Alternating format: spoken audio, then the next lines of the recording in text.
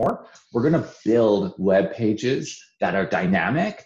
Um, I want to build web pages that are dynamic. Never done this before with students, and it's actually pretty easy and super cool where we can make multi-page websites that are like the same page acts differently depending on that URL. So we're going to be playing around with that. Okay, query strings in the URL. Uh, we're going to be using get and post methods today. Okay, um, uh, get just the get methods, but post methods will be coming next week. So those HTTP methods, okay, um, there's seven of them. Really, we're going to be focusing on two of them. Um, we're going to be looking at status codes. Status codes are going to play a role. Okay, uh, we do care about those. Um, so status codes meaning whether or not the page loaded good. And when I say actually, it's not the page, right? We talk about the page. The page is really a document, or the page is really the response, right? We talked about a little bit about that request response cycle, right? We talk about a page in HTML, but we can't, we don't only request HTML um, from a, over HTTP. We can request anything. We can request files. We can request HTML. We can request JPEGs, MP3s, whatever. Okay, we, there, the sky's the limit. Um, but knowing whether or not we were able to successfully complete, retrieve, find the file, right? Having those status codes is very good. Um, we also talked a little bit about statelessness or that the web has no state, right? Um, and that every request and response are completely separate and have no memory of the request or responses that came before it. Okay, and that's something that uh, all of those, all of these things are going to continue to play a recurring role in our programming. Okay, it's always good to keep those in mind because it really helps you understand. I have a hair. This is like a hair sitting somewhere over here. I can see. Um, all of those play a really big role in and will really help you understand things.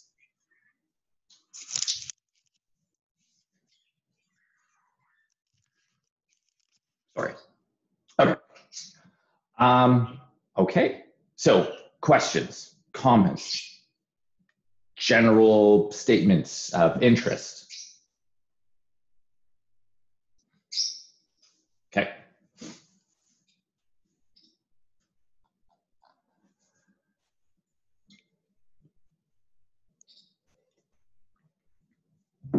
Then today, without further ado, we're finally getting in to doing something interesting with promises. We're going to come back to those. So today we're going to talk about uh, APIs. Okay.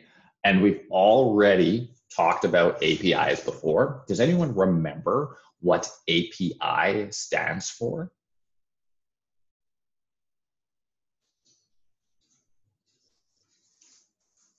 Let me share my screen here.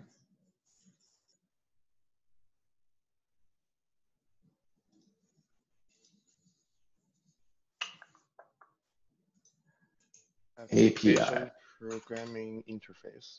Application programming interface. Yeah, let me bring up my VS Code. Um, get rid of all this stuff here. Bring up today's lesson. We are lesson five.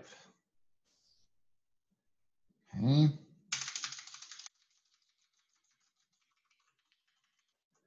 Yeah, so we're going to look at APIs today. Okay, so an API is a application programming interface. Okay, so an application, and it is almost exactly like it sounds. An interface, right? It's an what is an interface? An interface is something that allows us to interact with something, right? We have uh, right now you are using an interface um, in Windows that is called, usually we refer to those as a, a graphical user interface, okay, or a GUI, okay?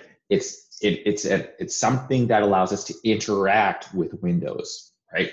Um, we, in programming, have something called programming interfaces because we want to interact with the programming language or interact with the application. Okay. Um, and we've been using APIs already. Does that, can anyone tell me an API that we've been using?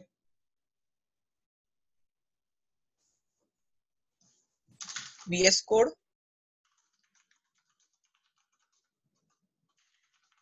JavaScript API. Okay. The, uh, the term API is very all encompassing. There's a lot of things that uh, fit into the API uh, acronym, including JavaScript, including every programming language. So all of this stuff, all of this stuff like math.random, math.floor, document.getElement by ID. Right, this is all part of JavaScript's programming interface, right? We don't really know how this works. All we know is it gives us an interface that allows us to interact with our program, right? It allows us to interact with our application. How it does it under the hood, that's not important. We don't really care right? And so this gives us an interface to perform actions and do things with JavaScript in JavaScript. Okay, so we use a programming interface, an API all the time already. Every language is like this. We, we generally, when we're, when we're talking about APIs relative to a programming language, we're usually talking about like, how well do you know that programming language? A, uh, array prototype map, right? Like, how well do you know that language? And knowing the language means I knowing the API means like I know a lot about the language, a lot of what the language has to offer.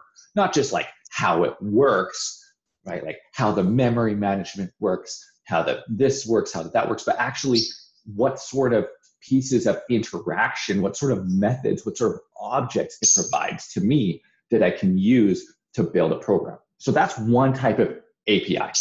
Okay there and so api can refer to that another type of api though and the one that we're going to look at is the type of api that other people provide to us. I mean this java i consider javascript other people too but this one is more like um, for example there are lots of lots of pieces of data out there in the world that we want, we can pull information from and interact with. Okay. Um, for example, Facebook, Instagram, Twitter, just to name a couple. We're gonna, I'm gonna show you a couple more simple ones, okay? But the concept is that these places have so much information and so much data about all sorts of stuff that they created an interface that allows us to ask for data back. And then we're allowed to do whatever we want with that data, build applications. So the idea is that they don't have to build all these additional applications on top of Facebook. They just say, here's data that users can use. So, for example, um, I used to do, uh, I used to work on this project um, at my old company, and it was the last project I was working on. We were working with a, um, what, what were they? Um, it was for health, and they were testing movement um, and arthritis. It was an arthritis foundation and they wanted to build an app about movement and about tracking like i can't exactly remember exactly what the app does but what we needed to do was we needed to gather movement data from users right? Um, so how do we gather movement data from users? Like so are are the users going to pick up their phones and enter the data as they like move around all day? Well no not that. Are they going to have to have their phones on them all day? No not, not that. Instead what we did was we bought all the participants of the study Fitbits. Okay, just regular Fitbits. Now, we can't read Fitbits directly. I can't, we cannot connect to a Fitbit directly. Fitbit syncs data to the Fitbit app. Okay. But what Fitbit does, the company, is they allow developers to sign up for their API, their programming interface. Okay. And Fitbit collects all that data from all the people who are syncing their devices and it aggregates it.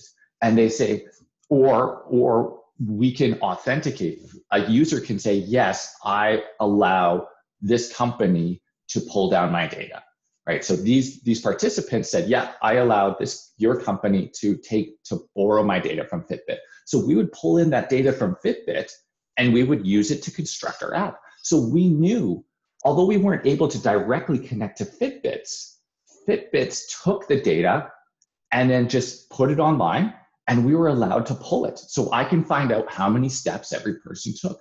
I was allowed to find out uh, you know when were when were they active? Show me the times. Do this do that right? And with that data i can construct anything i want. So then i can remind people hey it looks like you haven't been active for five minutes. Maybe you should get active. And the fit it's not the fitbit telling me it's the fitbit talking to their application but i'm pulling that information in so i'm using fitbit's api to pull that data in and build whatever the heck i want using that information. So that is the type of API we're going to be working with. We're going to be working with external APIs from companies, things like Winnipeg Transit API that tells you everything that you've ever wanted to know about any bus and its route in Winnipeg. Okay? And we're going to build a little program with that. We're going to look, we're going to work with movie APIs. Every movie that was ever done, who's in it, all the actors, posters, everything. Um, we're going to look at Marvel API. We can look at the Pokemon API. We can look at the Facebook API. Okay, there's so much information out there. It's just, and then we can use it to build whatever we want. Okay, any questions so far? All right, then let's go look at our first API. I think that's what we're doing right now. Yeah, let's go look at our first API. Um, so this API, this is a very simple fake API. Okay, this is the first API we're going to work with because it's so simple. Um, okay, it's a fake API and it's just to kind of get things going. Okay, just to just to get things going a little bit. So you understand uh, maybe a little bit what we're doing and uh, without overwhelming you. So this one's called JSON placeholder. Okay, super simple API. Um, and it shows you how to use it. Every API has different documentation, has its own documentation because it's the company, it's the individual, it's the it's the people who are putting this API up um, and making it available that are putting together the documentation. There is no there is no absolute standard. There's kind of a loose standard about how the documentation should be done. And it's really the documentation is really important because it tells you how to use the API. Okay. Um, and so it's really important to have good documentation. And every since every API is different, some APIs might have some really good information in them, but they have super shitty documentation. And so it's really hard to understand how to use it, how to connect it together. Some of them have great documentation, but they don't work. Some of them, like, it's kind of a grab bag.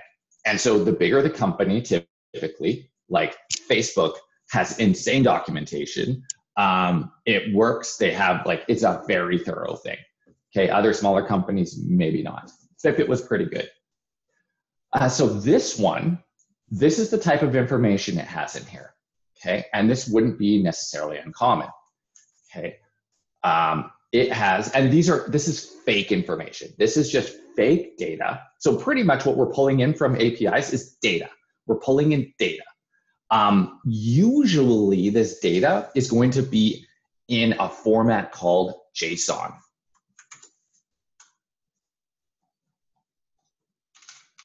And I've talked about JSON before, JSON, okay, stands for JavaScript Object Notation. And that means it is in this type of notation. E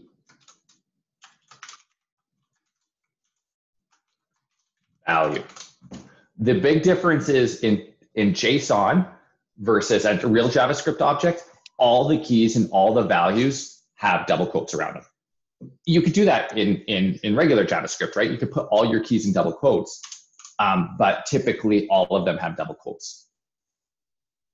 Uh, and the other thing you can have too in JSON is uh, you can also have arrays. So you can have an array of objects. Okay, but it's just they're just plain JavaScript objects. That's it. They're essentially key values. Key value, key value, key value. And that value can be another JavaScript object. You'll see what I mean. So that is typically the type of data that we're getting back from these APIs, but there is technically no limit to the type of data that we're getting back. Again, it comes down to documentation. Um, what are we getting back? When so the way that we interact with these things is we make a request for information and they make a reply. So just like any typical regular web page request reply, we say, give me this at this URL, and they say, here you go. Usually when we're browsing the internet, we say, give me the web page, and they say, here's the HTML. But now we're going to be saying, give me the data. And they're going to say, here's the JSON. Okay. Now, maybe, maybe one day, not in this course, but maybe one day we're going to want to say, give me the image. And they're going to say, here's the image. Give me the MP3. Here's the MP3. Right? We can do that. We just won't be doing that in this course. Okay. We're going to be mainly working with APIs that provide us with JSON and JSON is just plain text. Okay. They may give us a URL to an image in the JSON, which then we can use to load up a URL, but uh, to use a load up an image. so the way that we typically do this is with two, one of two different types of requests. Either we create a get request or we create a post request. Today, we're only going to do gets. So this website has the following pieces of information. It has users, to-dos, photos, photo albums, comments, and posts. Now, if I were to start talking about that type of data, you might start thinking like, hey, users, to-dos, maybe a user has a to do. Maybe a user has a photo. Maybe photos have albums. Maybe albums belong to posts. And maybe posts have comments, right? Like usually when we're interacting with data, a lot of from a specific API, that information is connected somehow, right? There's usually some sort of theme. If you think of the Facebook API, we would have access to um, anytime, by the way, you go and you say log in with Facebook, sometimes a little thing pops up and says, Do you want to give extra access to this? Uh, do you want to give extra access to this app that allows the person to see this, this, this, and this on your Facebook account? Right? That's that is giving that developer or that company permission to access your information through their API. So if you think about Facebook, what kind of pieces of information do you have at Facebook that might be connected? Well, you have posts, right? You have posts on your wall. You have comments, right? There are comments on those posts. Those comments have users. Users have posts, right? So from my post, I can get a comment. From that comment, I can find another user. From that user, I can get their posts, right? All this data is floating around and it's all connected. Okay. And it's up to us to pull it in and use it however we want. So we have our API, this one. Okay, really simple. It has we call these endpoints, these URLs. So this is slash post, slash comment, slash album, slash photos. What that means is this URL slash posts. So when it says slash posts, they're talking about their domain slash blah slash post slash okay and these are called resources here okay they're resources users is a resource the user's resource the to-dos resource the photos resource okay so when they say comes with a set of six common resources um, you'll hear that term often repeated probably not by me but definitely in the documentation about apis okay you'll also hear the term REST, REST, RESTful APIs. We'll talk about that later. Okay. So let's click on users and take a look to see what this endpoint gives us. Okay, uh, I, I, it's a resource. It's also an endpoint. Okay, and you'll notice it printed out to my browser a giant JavaScript object. Okay. So all the keys have double quotes. Some of the um, some of the values do, and some of the values don't. So look at all this information here.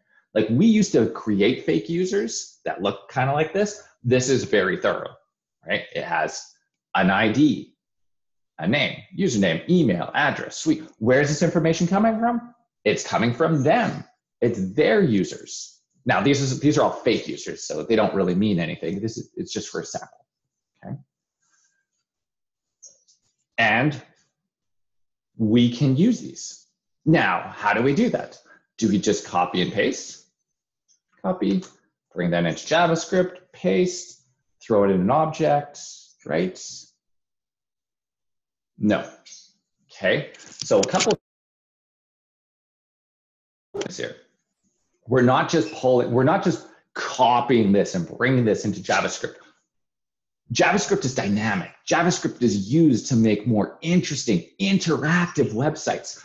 So instead, what we're going to do is at some point in time, for us to start, that, that point in time is going to be when the web page loads we're going to reach out at that time, pull in this data, and use it to actually build that website at that time. So we're going to be pulling this in with JavaScript. We're not going to be using the browser like we're using here. We're going to be pulling it in with JavaScript. Okay. Later on in the course, starting next week, we're going to be doing it on in response to um, in response to events that occur. So, oh, someone clicked on a button. Okay, I'm going to go out, pull in data, and then just and update the DOM based on the data that I just pulled in. Okay, so in response to an, an event, this concept of updating a web page after it has already been loaded was totally crazy. Um, and it really took off in the 2005, 2006, 2007. Okay. So before that, whatever was loaded on the web page, that was it. Okay. The web page loaded up, and that was it. There was never any additional things that were going out to the web again, pulling in more data and updating the page anymore. That was not, that did not exist. Finally, that concept was discovered, invented, whatever, okay? And it got a name, and that name is Ajax. So this this concept, because we are reaching out, right? Like in our JavaScript code, we're going to be reaching out and we're going to be pulling in data. Let's actually, I think the best thing to do right now is for us to try this and to see how it all works, to see if we can make sense. So we have this endpoint here, JSON placeholder typicode slash users, uh, dot com slash users. I'm going to paste it for you into Discord. Okay.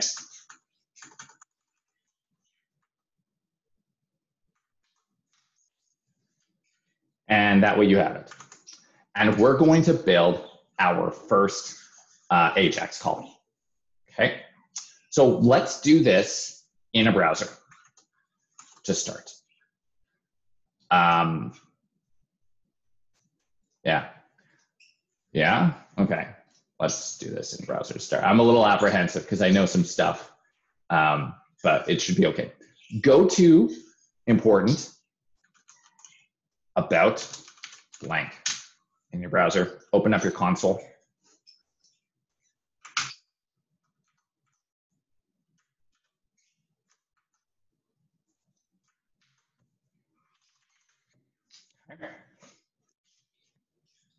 And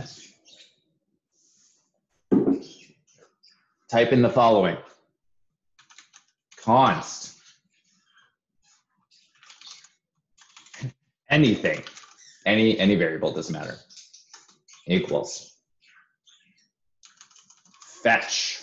This is a new word for us. Fetch. Inside fetch, fetch takes a string and that string is the URL that we want to request data from. And that URL was that URL that I said, the URL, the domain for the website, plus the protocol, plus the path to the resource slash users. And hit enter.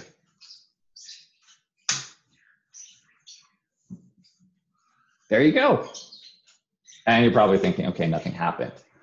Let's inspect this. So I have my variable name here, anything. Let's look at what anything is. Oh shit. Anything is a promise. Okay. We talked about promises. A, anything is a promise. Why is why is going out, why is asking JavaScript to go out and retrieve data from some other website, right? I am not on this website. I am on no website at all. I'm asking JavaScript, okay, JavaScript, go out to this website and get me some data and bring it back. Why is that a promise? Why, why do we use a promise for this?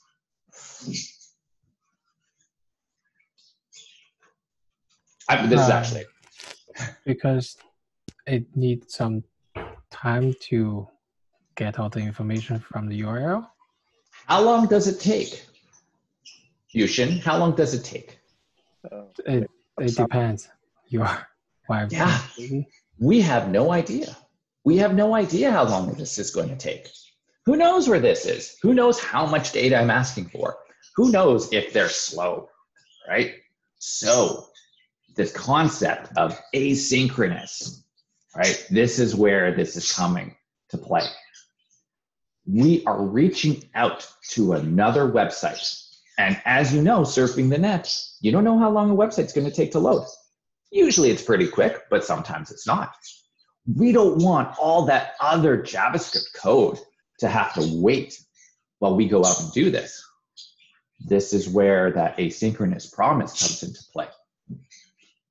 So fetch returns a promise. Fetch is a promise. Okay, fetch creates a new promise. And it says, okay, I'm gonna go out and I'm gonna go get this data. When I'm done with this data, I'm going to resolve, okay? which means we can start attaching thens to it, which means we can attach thens to it to say, okay, now that you got this data, let's do something with it. Let's put it in the DOM. Let's do some calculations, which let's update some pictures. I don't know, whatever, whatever it is that we need to do with the data, right? So um, let's take, actually, let's dig into this a little bit, we can actually see this request go out on our system. Now, we didn't see it go out here, but in this network tab, we can. Um, it's massive. So you can see I made a request, okay, type fetch. So my page, this page that I'm on right now, which is a nothing page, made a request out to this users.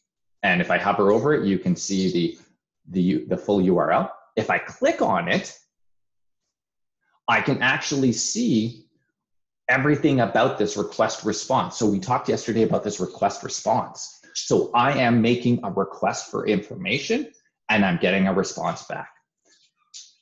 My method, and again, 95% of the time, our methods are get. And which is why I didn't have to specify anything. By default, fetch performs a get request to this URL by default because that's like 95% of the stuff that we're doing. Um, and it came back with a code, status code 200. Okay, it worked. Okay. It's got some uh, IP information. Okay, it's got the path that I used, the schema I used. Um, it's got all this stuff. Okay. But what we don't have is I don't have any data. Like I'm looking at this promise and there's no data in that promise. But we know that the promise itself, when we look at it like this, doesn't contain the data, right? It's the stuff that comes after, right? Remember, inside promises, promises are calling resolve or reject. And it's inside that resolve that the data is going to lie. And to access that, we need to attach a then onto it so we can get that data. Right? This is what we're used to. This is what we're used to seeing so far, right? Resolve does stuff, or promise does stuff. And at some point in time, and this is what we're used to so far, this is what we've been looking at for the past couple days. And at some point in time, actually, let me just uh, get a JavaScript file open here.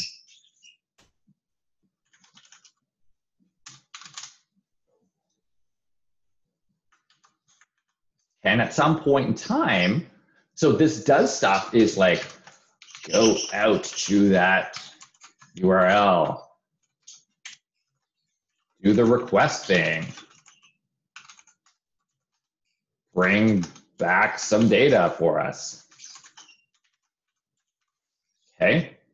Now we don't know how that works, and that's okay. Fetch knows how that works. Fetch is doing it for us. But fetch is fetch returns a promise. So fetch is kind of like this format ish. So we can actually, so it's going to at some point either do one of these. It's going to do one of these. It's going to resolve, everything went well, and probably some data came back, or it's going to reject, and I don't know, maybe we weren't able to connect maybe we weren't able maybe that url was incorrect okay? And actually we can test that out if i put an incorrect url in here. Um, actually that would probably 404 we'll, we'll, we'll look at that shortly okay? And so we start to deal with that all that stuff inside the then okay? Inside this request response though if we go back to the network tab we can actually see the response Okay, this is just, again, a very kind browser feature that allows me to see the response. Okay, I'm just looking at it. And again, that's no different than what this looks like. But we can actually see the response that's coming back from this particular request. Now, how do we access that in, in the JavaScript?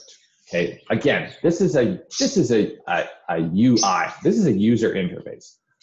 We, we want it in programming we want to be able to pull that data directly into our JavaScript so we can start using it. How do we do that? Okay. So let's grab this, this fetch, and I put in my JavaScript, we're going, if this returns a promise, we want to add some thens onto it. Two thens, in fact. But we will start with one. And we will take a look at what it has to offer. Now, if you go to the fetch documentation, okay, which you don't have to right now, I'll tell you, fetch says that if it was successful, it's going to return not just the data. It's returning the entire response, everything. The response includes headers. The response includes, so we're looking at, so here's our response. Okay, it includes all sorts of crazy stuff, including um, was the response, what's the response status? What's the response method? Let's take a look at this response because that's what it's returning. That's what it's returning. It's returning actually a response. So to get that, we need to type in something like that.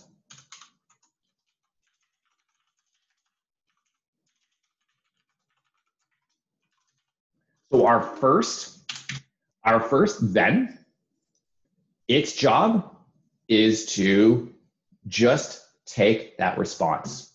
So this is what happens. Fetch goes out. At some point in time, it's going to come back and it's going to bring with it a response. Everything is inside this response, including all that data. But there's other stuff in there too. So we are going to take the first thing we're going to do is we're going to take a look at that. And again, we don't know how long this is going to take, which is why it returns a promise, which is why it's asynchronous. So this other stuff down here can still run while the fetch is happening. And so while we're reaching out to the website and pulling data back in to do something on our web page, the rest of the JavaScript can keep running, assuming it's not tied to this data. If it's tied to that data, you need you don't want that to happen. You want to move this into the into that fetch. So let's bring this to the browser and try this.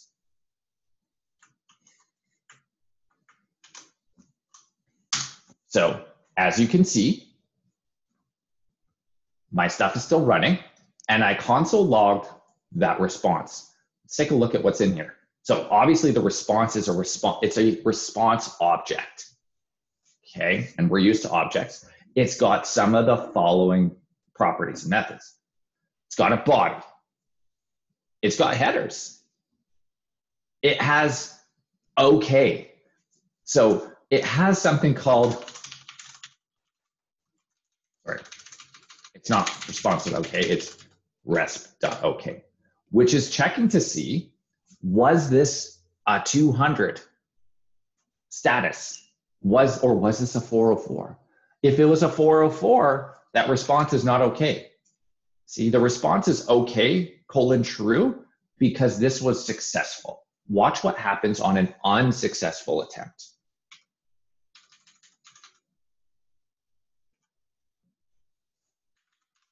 Okay, bad URL. Let's see what happens.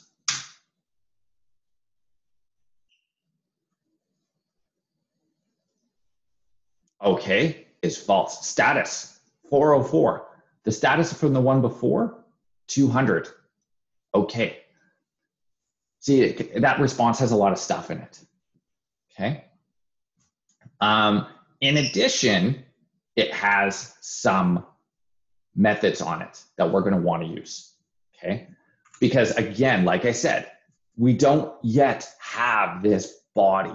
We don't yet have that data we have the response and in the response there's the data but we got to get it out and again that data is in javascript object notation but really what it is really what we're dealing with here is a giant string it's one giant string in a interesting representation of javascript okay we get this as one giant string So we got to parse that. We got to break down this string into little piece, into a JavaScript object. Okay. So looking at this, you can see it's an array of objects. So it's an array of user objects. Okay. So we're going to have to break that down.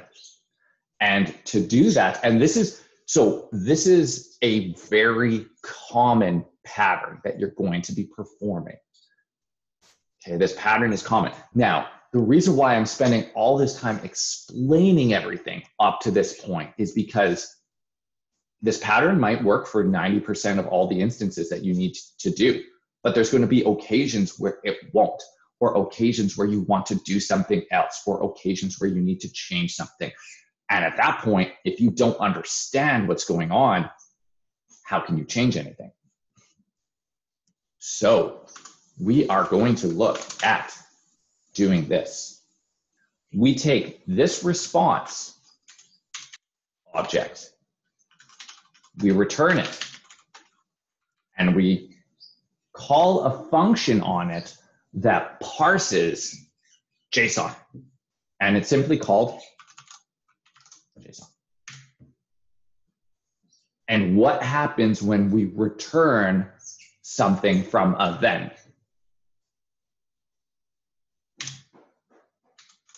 we are able to chain another then onto it.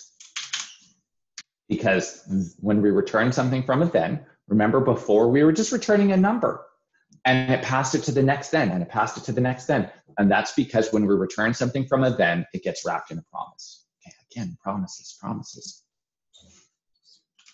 And now we finally get, oh my gosh, our data.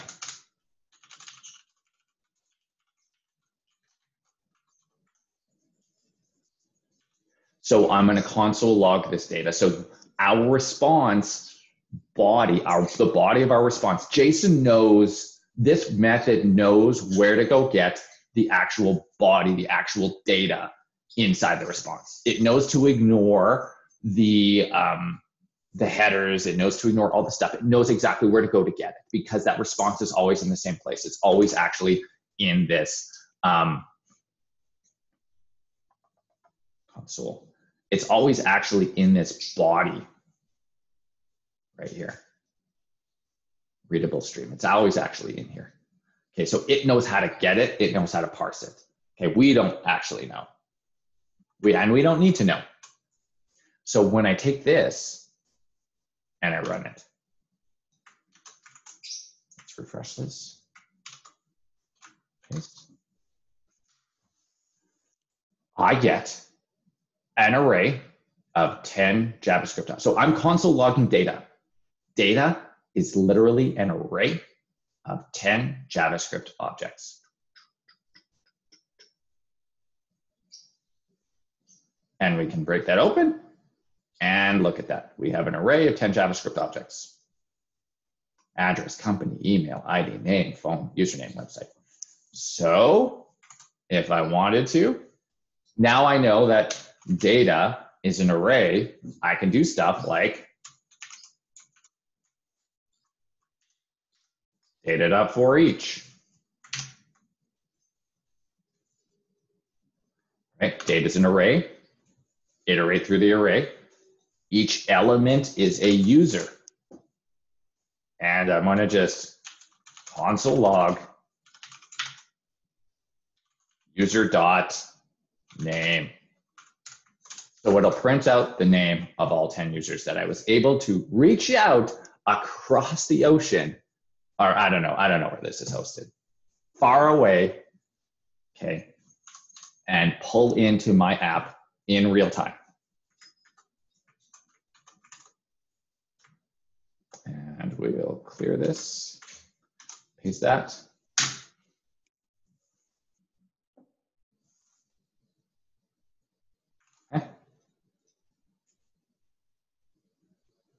Did I? Oh, I did not copy it.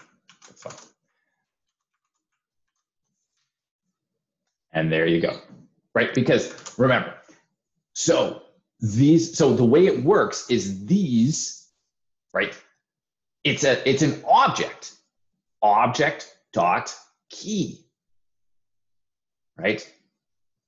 Object dot key. And we're used to that. If I did this,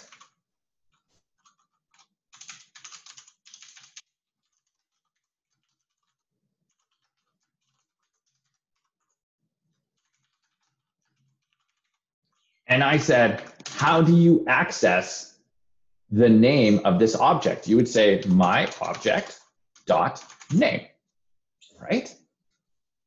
And that's no different. It just so happens that this is, so data is an array of objects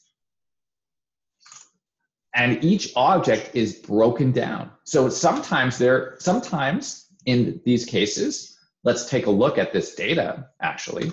Again, console.log data.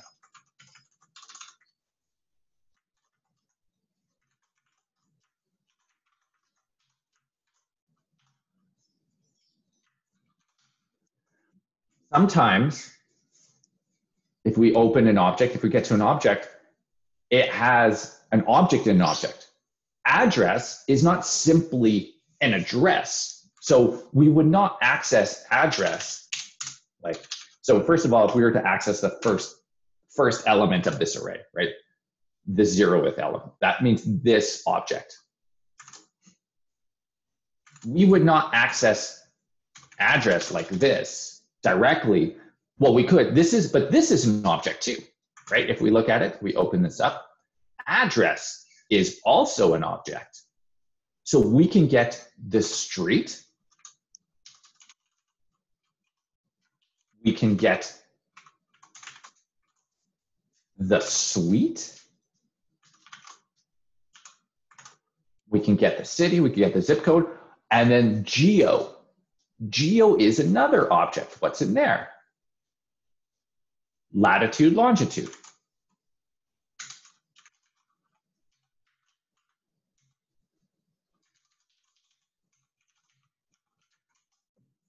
Okay, and we dig in, we dig in, we dig in, we peel back the layers. Okay, some of these might even be arrays. I wonder if there's an array in here we can look at. Not in the users one. Uh, there are in others, but some of them might even be arrays. Like maybe the user has to-dos on them and that is an array of more objects. So the only thing that you're going to be dealing with in JSON really is going to be strings, numbers, objects, and arrays. Okay, that's all that can be represented. Strings, numbers, objects, and arrays.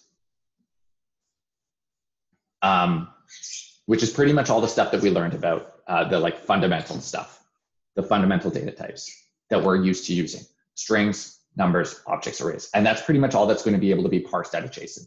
So it's either going to be a number, it's either going to be a string, an array of more things, an array of more objects, an array of more arrays, an array of more numbers.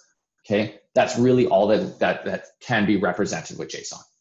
Okay, sometimes you'll see a date in there, like a date time stamp to represent date or time. Um, you might need to do something with that.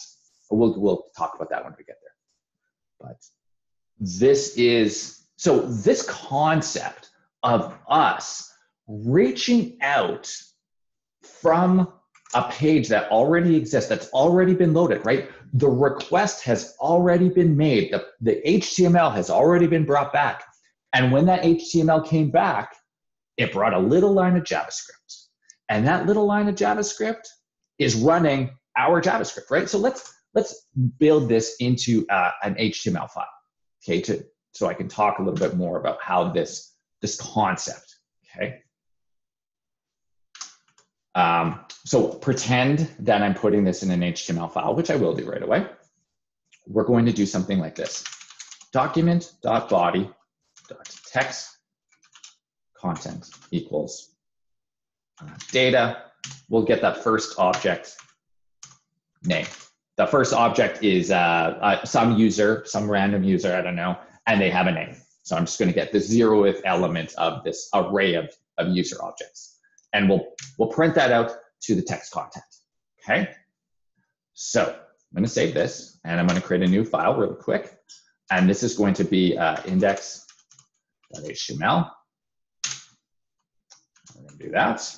And we're gonna load up that JavaScript file. Scripts. sample.js. And we're going to defer it. Save that. Let's go look for this guy.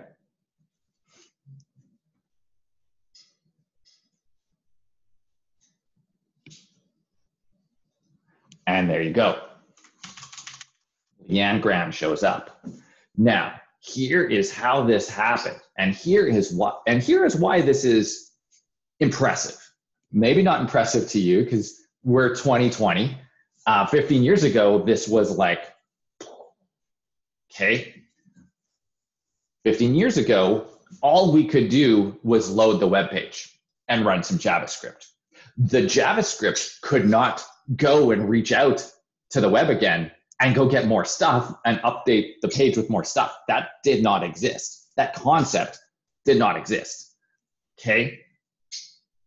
But this idea, as I was mentioning before, came out of like, hey, let's, I don't know how they came up with this. Okay. But this is called AJAX. And AJAX stands for asynchronous JavaScript and XML. Now, this part, so back in the day, we weren't getting JSON. Okay, back in the day, we were getting XML, extensible markup language. If you've ever seen XML, um, I'm sorry. Okay, XML is terrible. Uh, it looks like really, really free form, hippie style HTML, where you can just do whatever you want. I don't like it. Not a lot of people. Not a lot of people like it. But so this part is not so true anymore, but the name still sticks around Ajax. Ajax is a concept. The concept is that our page, even though it's already been loaded in the browser, can still go out to other pages, other URLs, other locations on the internet, and get data and update the content of this page. Okay, that never used to happen. It used to be the web page goes out, it gets your HTML, your JavaScript, um, all the images, your CSS, it loads it up. JavaScript might be used to count time or have hovers or rollovers or events, but none of those events, none of those things could actually go out anywhere and get more, more information, more data, more stuff. That just did not happen. But now it does. Okay. Ajax changed that. So now your page can make multiple additional requests even after the page is already loaded. Before it was whatever data you get at the time, that's the data you get. That is what you get. Whatever JavaScript, whatever CSS, whatever stuff that you get got at that time, that's it. No more. Okay. But now we get so much more. We get Ajax. Um, so sometimes these are referred to as XHR requests. Okay, XHR. Um, the X again stands for XML. Okay, I actually don't know what the H and the R stand for. XH. XML hyper HTTP request? Oh, yeah. Okay, because the old way of doing this in JavaScript is uh, using something called XML, HTTP, XHR, XML HTTP request. That's what it's short for. Okay, so uh, before fetch, uh, fetch is ES6. So you may see some people use this XML HTTP request. If you do a search for Ajax, JavaScript online, since JavaScript's been around for a long time, you're going to get a variety of things. The old way of doing it is through XML HTTP requests. You also might see this sometimes. Okay, this is jQuery, which is a superset superset of JavaScript, but we don't really use jQuery anymore. It's dead. Okay, Uh, you will probably use it in the back end, unfortunately, but trust me, it's dead. Um, so you might see this if you search for Ajax or how to do this stuff online, or you might see this, but this is the way we do it now, fetch. Okay. All right. So we've got about, let me see what I've covered. Let me see if I've covered everything I want to talk about. Ajax, fetch, checking for errors. Yeah, let's check for errors. Okay, so here's the thing. Um, we did this and everything just worked perfectly, right? What happens if an error occurs? Okay, and that's the big question. And it happens more often than you think. And this is why I, I, I talked about errors for one of the first times ever. Like we talked about errors before, like, hey, this error stopped your JavaScript from working. Just go fix this. Go put a semicolon here, right? But these types of errors are different. When we're typing about, when we're talking about errors with respect to external websites, they're far more frequent and far more common and far more manageable, right? So, for example, let's say one day this website goes down. And now, because that website goes down, my website, which depends on all the data, stops working. How do I do that? Do I just have this little circly thing that just sits there and tries to load the data on my website? Using catch. The catch? Yeah. Well, yeah. Okay, so let's let's throw a catch on there. Catch error function.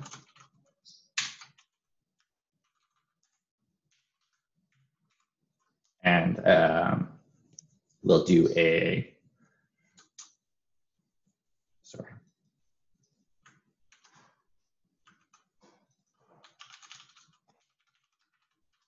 Okay, so use a catch. If this rejects, if this fetch rejects because of an error or it throws an error, it will skip over these thens and hit my catch, right? That's that was the that's what we learned about with the try with the then catch chain. Okay, so let's force an error. And I showed you I can force an error by just putting in the wrong URL. This is not a real URL. This path does not exist at this website. So what type of status are we going to get here? 404. 404. 404, correct. Let's bring this into our document console, refresh. Huh? Oh, yeah, yeah, yeah, that's right. I'm doing, uh, okay, so I'm, all right. So my code ran, right? This is my HTML page, right? It was supposed to print out the name. And instead I got uh, 404, and then I got a type error, cannot read property name of undefined at line six. Document.body.text content data name. It still ran this. Even though it responded with an error.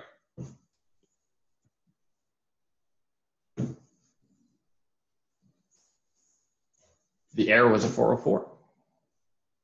And the reason why it does that is because the way Fetch works, the way Fetch is programmed, is um, HTTP status codes are technically not errors. So, yes, it was an unsuccessful retrieval of data, but we successfully connected to the place you asked us to. It's just we didn't get what you wanted us to get. And so it treats it as though, uh, yeah, everything's fine. We're just going to keep rolling. And so what you have to do is you have to manage these status codes by yourself, which is why we, one of the reasons why we get this response object. So we can ask if the response is okay, right? It's 200 or 201 essentially. Okay, if the response has a status of okay, 200 okay, if it was successful in getting what we asked, do what we asked it to do. Otherwise, don't do what we ask it to do. Go to that catch, which can be throw new error, or better yet, throw response uh, dot. What do we have on response here? Error? I don't know. I don't know what we have on response. Uh, throw response. Let's just throw the let's just throw the whole object, and then we'll console log that response object okay, down here. So back, and this reappears. Okay, there's again, there's another way to do this I mentioned yesterday. Promise.reject.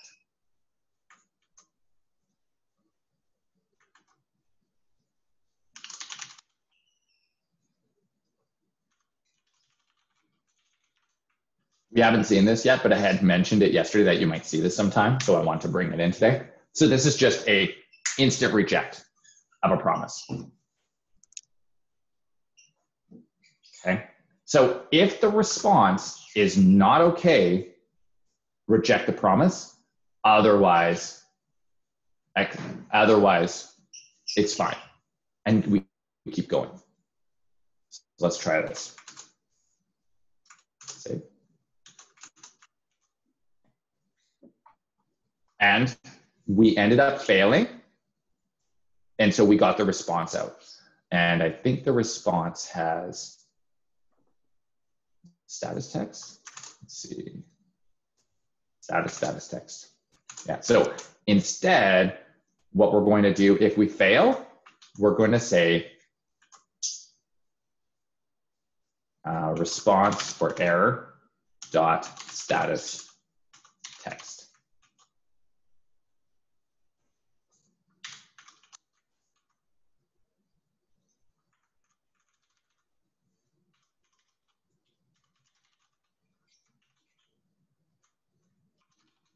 Dot status.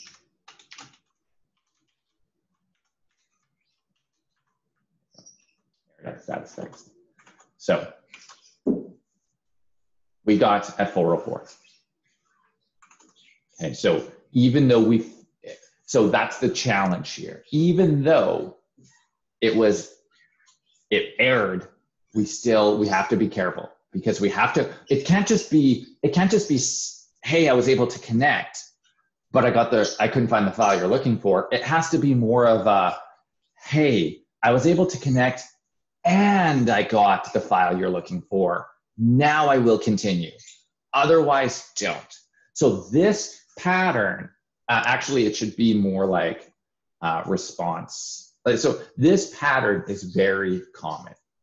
Okay, it may not look exactly like this for the catch in the air. That is a little bit like hand wavy as to what you want to do, but this pattern is very common. Actually, this is probably more the pattern you'll see. And I'll actually go to their JSON, JSONPlaceholder website to show you. Looks more like this. it's very simple. Arrow functions, right? So this, this little piece right here, these little arrow functions, you'll see this a lot too, but they're, they're not doing anything, right? They're just console logging. These then functions, right? They can get busy. You can be looping over objects. You can be printing stuff out. You can be saving things. You could be checking things right? These can get very large. So while you may see stuff like this, this is just a demonstration of how to use it. These, this is probably more realistic. Okay, and I think that's about it. Yeah, but you'll see arrow functions being used a lot. Okay, so get used to that. Um, I think if we do an incorrect one here, like an incorrect URL entirely, I think we actually get an error on that. Um, let me just double check that, like a real, real error. Yeah. Error name not resolved. That's, and that's an entirely different error. Um, it can't find this. And I don't think this catch works on that. Does it?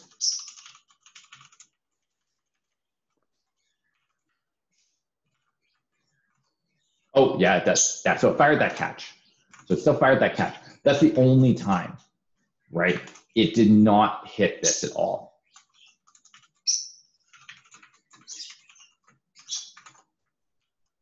It did not hit this first then.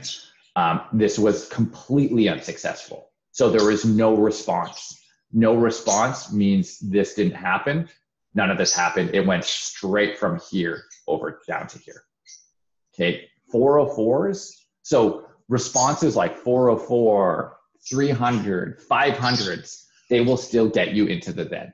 And then you have to check for what that response was. Otherwise, they're just going to skip. If you can't access the server at all, the server's down. LTLMS, for example, the other day, it was down, right? We couldn't access it. It would have skipped over all this stuff and hit that catch directly because that counted as a real error. Okay. Questions about this?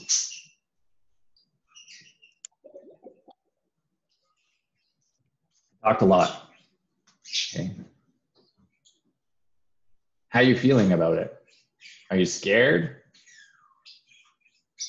Are you Honestly, good? the, the API was really abstract for me. Yeah, and and so like the concept of APIs is that like it's hard to understand. So think of it right now like you know how all those exercises we were doing up till now, we were making up our own data or I was giving you data, right? And like for example, the vending machine one, I was giving you data. Here, take these 10 items. But like in reality, uh, you're not going to just hard code your data into an application. In reality, you're going to be pulling your data from some list of potential items that might be in our vending machines because we run a company that sells vending machines. What's where's our inventory? Where's our stock maintained? Right? Someone's not going into the code every time we get a new type of chocolate bar in and saying, "Oh, you know, got to put our new chocolate bar into the code." we need to put it in a place that allows our apps to pull from those lists, right? So it's always able to pull from those lists. So that data, instead of us hard coding our data directly into our applications, we're able now to not put any data in and pull data from elsewhere, right? So that's essentially what these APIs are. They're just, they're just, it's just data. And so I refer to data a lot, right? Like it's just, it's just, it's just information. And, but that's all we do. We just work with information. Okay. So these API endpoints, this one's not very interesting. Um, we can take a look at the Marvel one. We're going to dig it far more into this later, but like uh, Marvel API or the Pokemon API, they have a developer portal. Uh, League of Legends. So uh, Ray, I know you play League of Legends. Yeah. Okay, so you must be familiar. So, so uh, bear with me, people who don't play video games, especially not League of Legends. You must be familiar with this website. Yes. Okay, so um, when you look up a player, okay, when you look up a player, it's getting all this information from the League of Legends API. So the League of Legends, League of Legends has all a bunch of data it has players, it has matches, it has weapons, it has like all this stuff. And this website decided what we're going to do is we're going to connect to that API. We're going to pull in all this data and we're going to put it together in a way so that way people can come and find out all this information about their players and about their games and about their history. And, and so that's all this is. This is just a collaboration a mash, a remash of all that data, right? Yeah. This this ability to click on this down arrow and show all this new data, well, that is that like you are not able to do that any other way in that League of Legends game itself. League of Legends itself does not present its own data like that, but it has the ability. It could, but so people are essentially just taking this data from these websites and remashing it up into a new presentation, a new interesting way, a new way of looking at it. And so that's what these APIs are. So when we're talking about the Marvel API, for example, okay, Um, it's just going to have information about, I don't even know what it has actually. Uh, I'm curious. Uh, this is on my list.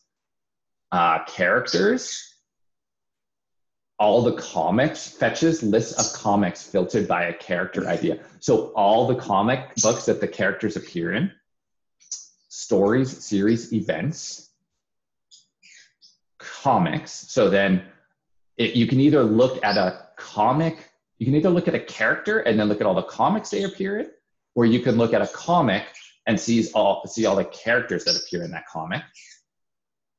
Comic creators, events. I guess events might be like um, Infinity Stone War or something. Uh, series, stories. So this is the Marvel Comics comic API.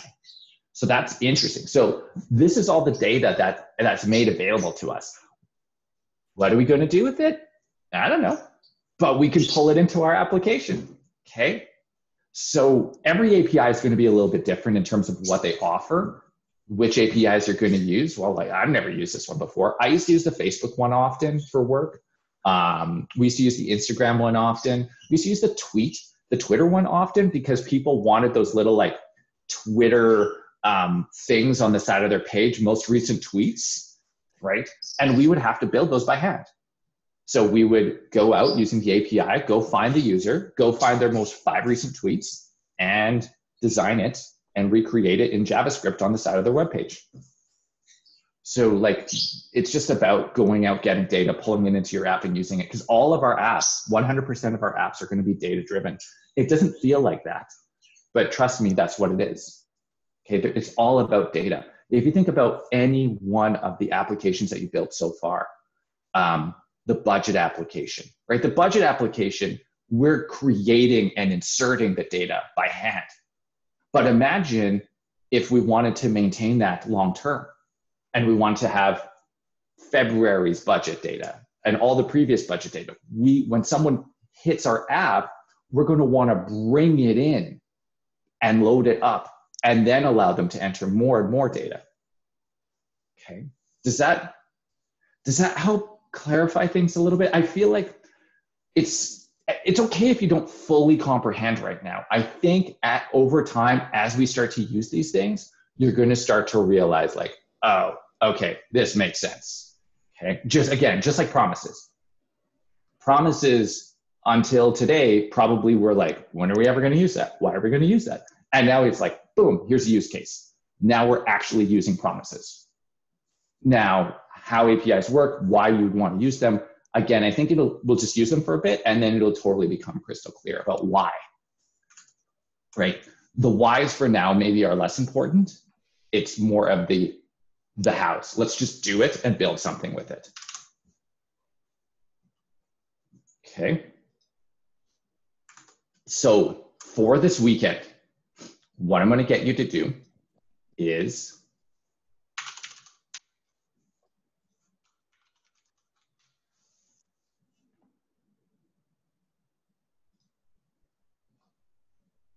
we are at exercise five. I have included the documentation for Fetch. I also included a little bit of reading from yesterday for Fetch. Uh, this is like a very simple uh, walkthrough of how to use it this is the Mozilla documentation. So like if you want to know all the options or you're having problems and you need to like troubleshoot, this is the documentation. The exercise is this. So um, I want you to go to a website, an API called Random User. And Random User is a random user generator. That's all it does. It just generates random users. Okay. And again, it shows you, as I mentioned, it shows you a jQuery sample, but we are not using jQuery.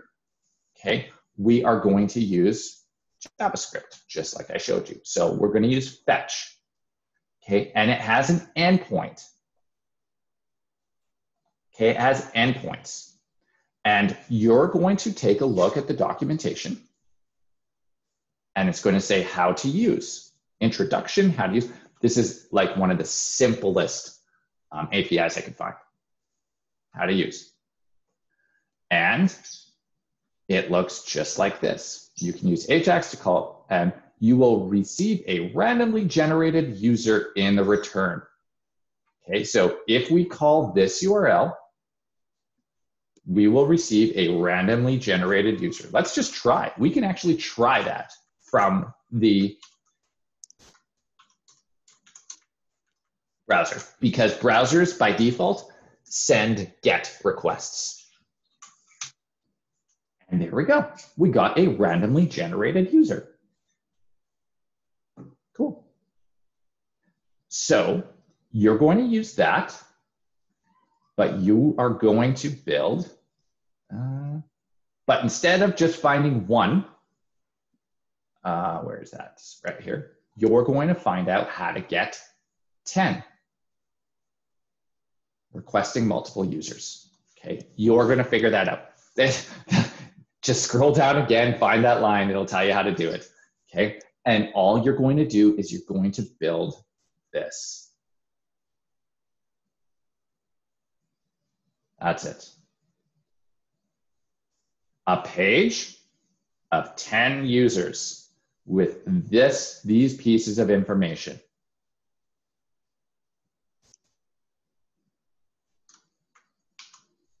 Okay.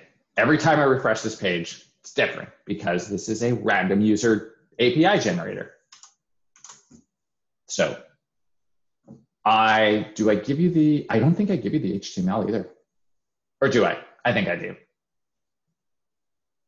Oh, no, no, no. I tell, I tell you, if you want, so we have the weekend, okay?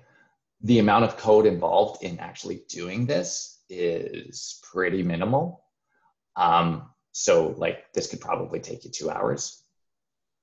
Um, but if you wanted to take it further, I have parts two and parts three. Um, if you don't want to do, you're more than welcome to do the HTML and CSS. If you don't want to, figure out how to take it from my website. Okay. Normally I give it to you in a little zip. This time I'm not going to. This time I want you to figure out how to steal it from my website. We've been playing around with the browser. We've been playing around with source. Um, you've been using developer tools for a long time. That is my challenge. Or you could just build it by hand. Okay, it's not complicated. You just build one of these things, throw copy paste, throw 10 of them in a Flexbox, boom, you're done. Okay, but remember, this is all being dynamically generated in um, JavaScript. So you are going to build this, okay? Um, you should request 10 users at once, loop through those 10 users, print out all that information for all 10 of them. Um, there is one little thing, the date that is provided is provided as a string, crazy ass string. If you want to use it as a date object, so you have get year, get month, get date, you have to do this with it. You have to put the string inside a new date constructor. And then it will convert that string into a date object, which you can start asking questions about. It's pretty smart. Okay. Um, and then another little issue, the API documentation is incorrect. I noticed this because I built this like five days ago. The user address is actually another JSON object. Okay. Um, in the documentation, it says that you can just access it user.address, but that's not it. It's you need to access it user.address.street, user.address.name, and name is street name actually. Okay. Um, I'm intentionally being a little bit vague on some of this and not providing you with everything that you need because we are getting to the point now where we are well into our program and we need to start learning how to figure this stuff out for ourselves. Picking up, stealing HTML and CSS from a web page, I've never shown you how to do that, but you should be able to figure out how to do that.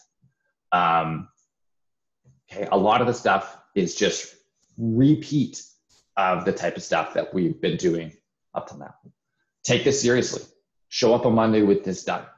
Okay, if you don't do this, the next one's going to be worse, and then the assignment's going to crush you. Okay, but this is not. It's really, really, really not hard.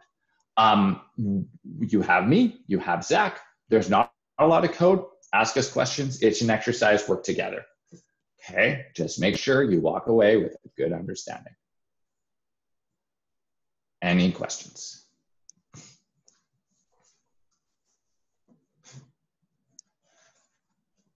All right. Wow, it's great. Looking forward to it. I think this is exciting. This is, I've been waiting three months for this. Like this to me, we can actually start to build interesting applications because now we're not tied to making up our own data. We can now go out and pull in data from anywhere around the world about any topic, about anything we want. If you want to build your League of Legends app for your phone, do it. If you want to build that Marvel Comics thing, do it. If you want to build your own Pokemon game, now you have all the Pokemon information and all their powers and all images and everything. Go build a game. Change your pig game into Pokemon. I don't know. Okay. So this is it. Um, I think this is a good opportunity for us to take a break now. So what we'll do is we'll take a break, take 15 minutes, come back at 1030, and we'll uh, move into our Git course. Okay? Okay, see you in a bit.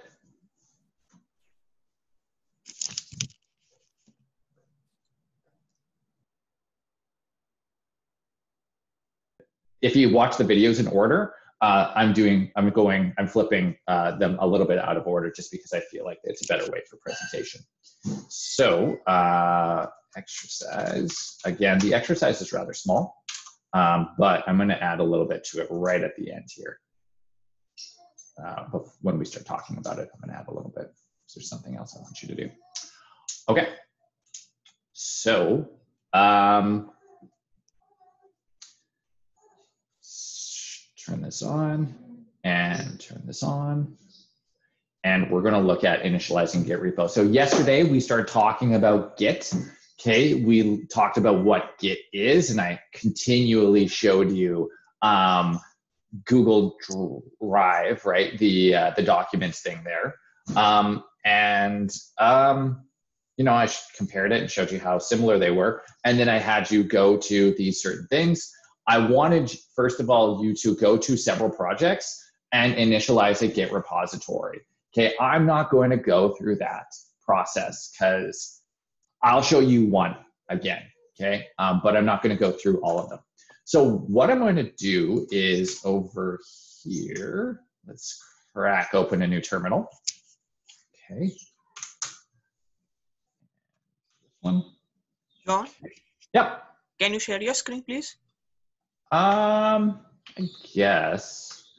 I think I, I sometimes I feel like it's better if you just imagine what my screen looks like. Um, yeah. Yeah. Okay. There you go. You got it right. Did I share the right screen? Yeah, it's good. Okay, cool. Okay. So we're gonna go to my um, Google Drive. We're gonna go to that project I just created, um, the new files I just created. So I kind of have a general idea of where it is on my computer, but I don't actually know very specifically. So I'm gonna look around. Okay, so you're gonna see me use Bash, and this is this is how you use Bash. Okay, so I know that um, my stuff is in a place called Mount C. Uh, I think it's users. Yeah. Okay. So to find that out, I usually like type in the first letter of where I think it is, and I hit tab. And if I'm right, I get it. It'll fill it in, or it'll say mm, uh, there's a couple of things with you in it in this directory, um, but I'm right, and I think it's JNizzy. Okay, good. So I'm right. And then this is the stuff that's in that directory. Here's the other directories that are in there. And I can see my Google Drive directory right there. So I'm going to type in capital G because there's only one directory with G and hit tab and it will fill that out. And then hit tab again and see what else is in there. There's only one folder in there. Hit so it automatically fills that out. Hit tab again. Oh no, what did I do? Hit tab again and I get to see more stuff. Okay, so it's SD, what we were, were we in this morning? 140? Tab, and it will populate that. Hit tab again. I want to go to lessons, tab. And I think it's in lesson, this morning was lesson five. Cool. So there we go. I navigated from my home directory all the way boop, boop, boop, to that one directory. Okay. And we're going to take a look at what's in here because I remember I created I created this sample JS and this index.html file to show you that stuff. So I'm going to move that into its own directory. Okay. So I'm going to make a dir and call that in class sample. And so now I have another directory in class sample, and I'm going to move those two into it. So I'm going to move sample and index. Oh, you can't do that.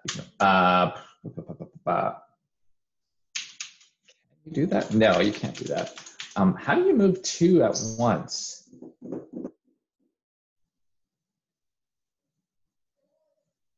I actually can't think of it. Okay, in class sample. Uh, so we'll move sample into in class sample and we will move index. There's definitely a way to move more than one file at a time. I just can't think of it off the top of my head. There we go. So I moved two files into this new directory and we'll pop into this new directory and we'll clear the screen. Okay, so this is what it looks like in my new directory. This is that new little stupid project that I made this morning that just shows the error or the name of the user on the screen, right? The sample I did in class. So I'm going to track this in Git. So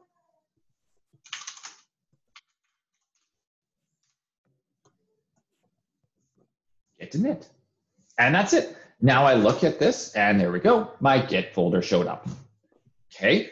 I do a Git status and it says untracked files because these are new things that have never been backed up yet, have never had a snapshot taken, have never been committed. The proper term is committed. Okay. Um, but they, they haven't, these files haven't yet been committed to the repository. Okay. And that's the terminology that you would most likely hear. These have not been committed to the repository. Okay. They are untracked. Really, though, what that means is these files have not been backed up using a snapshot yet. Okay, that's what that's another way of putting it. Um, okay, so I went, I moved some stuff around, and I did a git initial a git init, and it initialized this directory as a new repository. And again, you can tell because this directory has a .git folder in it, this little master thing showed up. Um, who followed those guides yesterday to get uh, that were shown in the videos to get this stuff on your console, on your terminal? There's guides in the videos to, to, to help you have this on there. Who followed those? Yeah, I do that. Yeah, I did too. Two people. Okay. Well, okay. Super helpful. Again, I don't assign reading and videos for no reason. There's useful information in there.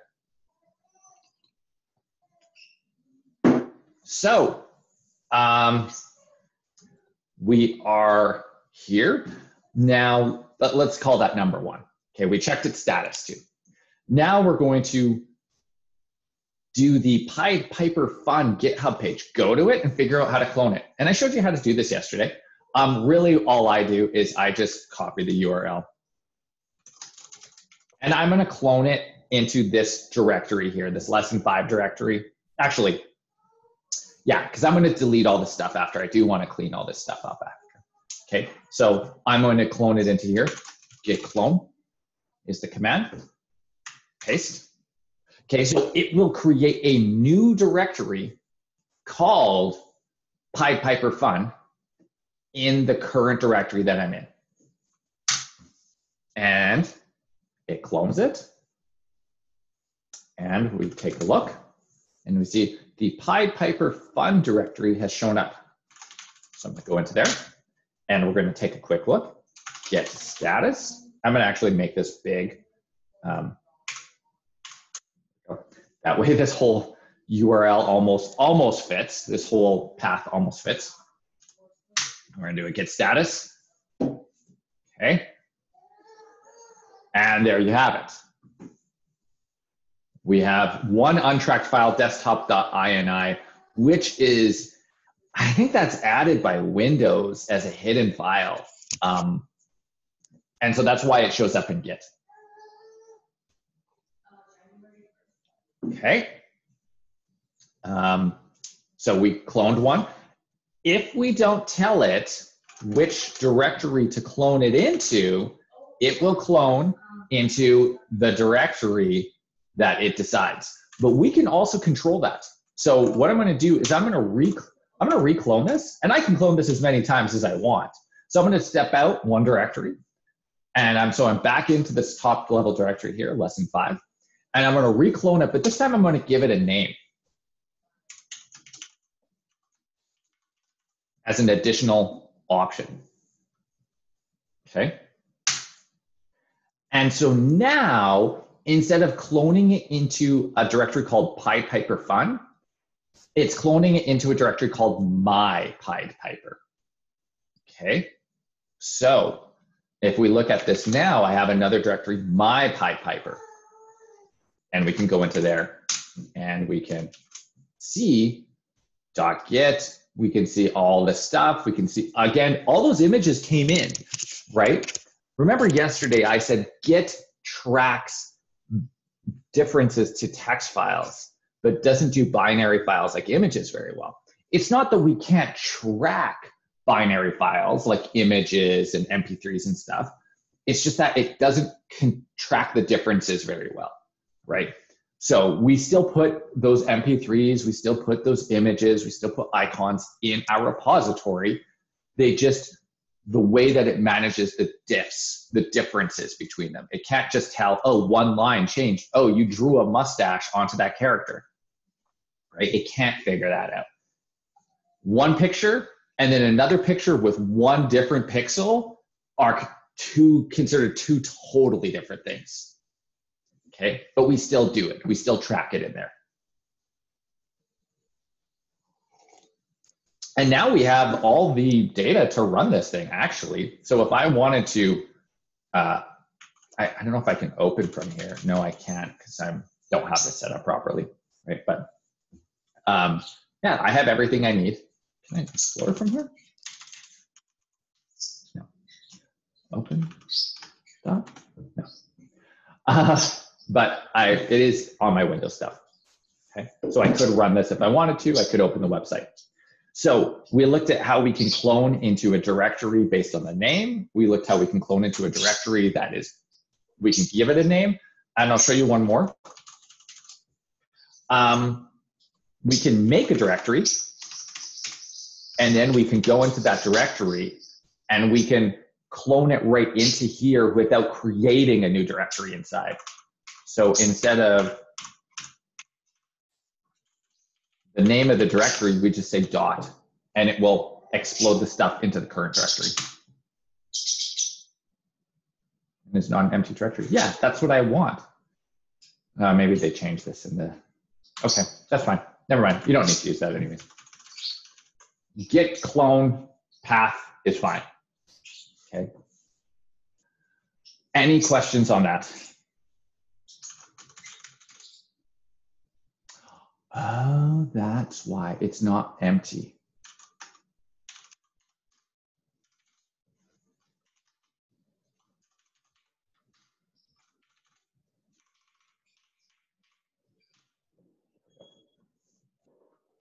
Has to be an empty directory.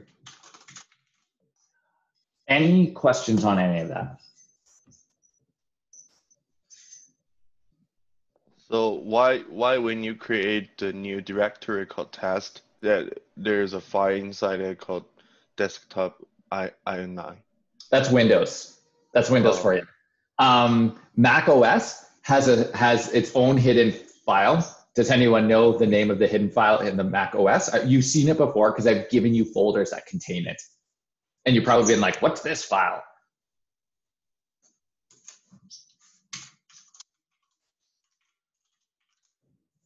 You've seen this file before, right?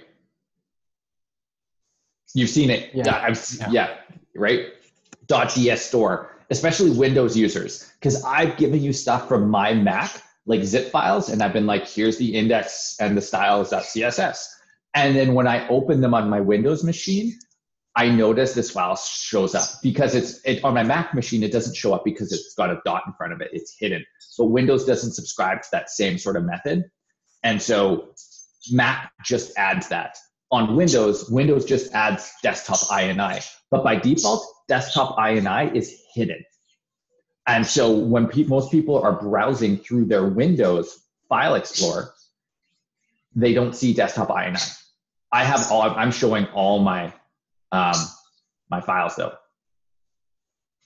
I have it shown. I have it. Oh, maybe it's in Google Drive. I don't know.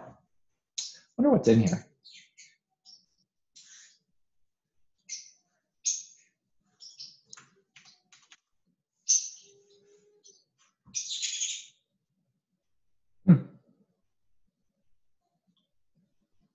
Interesting. I, I don't know what this file does, but it's added automatically. Might be from Google Drive. I thought it was from Windows, but it might be from Google Drive. Any other questions?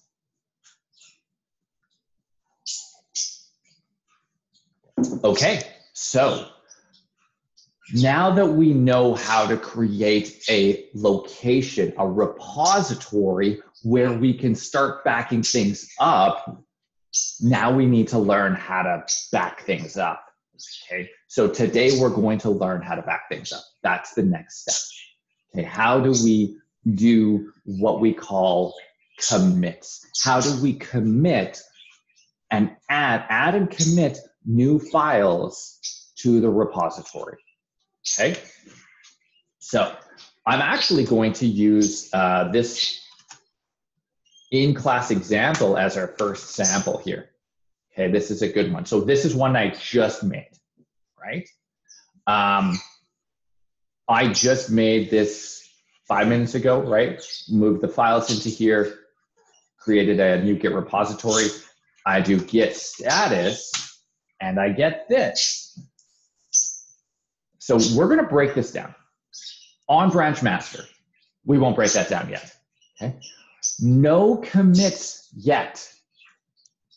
Okay, there have been no commits, no snapshots taken yet. That's what that saying. No snapshots taken yet. Nothing added to commit, but untracked files present.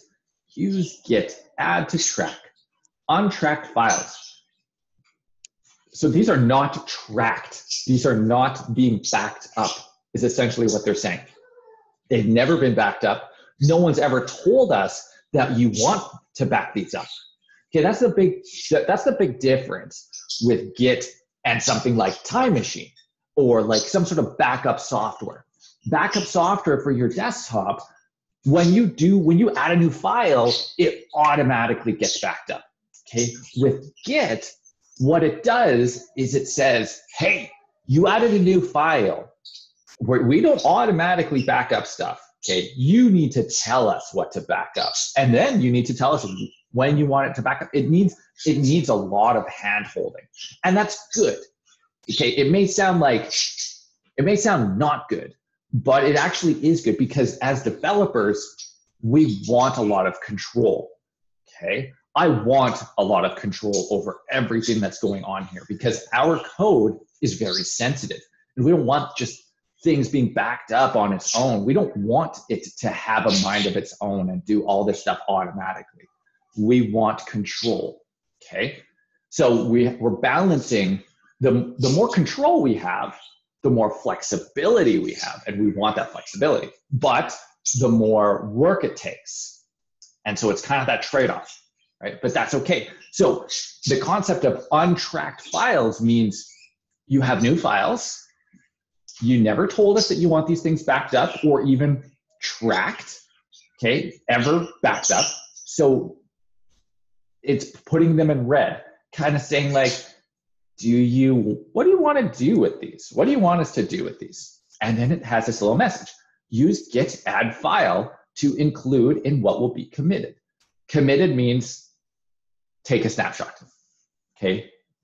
So the first thing we do when we want to add files to be committed to this snapshot, to this backup, we need to perform a command called git add. So we need to tell Git which files we care about. I care about these two. I don't care about this one. I don't want to back that one up. Because if we're sharing this, I don't want you to have my desktop INI file. That's not important to running this project. Okay, that's some sort of weird thing on my Windows. Probably not on your Mac, and maybe not even on your Windows not important for you to have it. I want you to have the files that are important for you to run this project, and that file is not important. Or I want the files that are important for me to back up so if something were to happen, I can restore this project. Now, I might be restoring it to this computer, I might be restoring it to another computer, but again, this is probably not a file I need. So I want to track, I want to back up these two. So we're going to add those two. We're going to tell Git, these are the two files we want you to back up. So we're going to do this.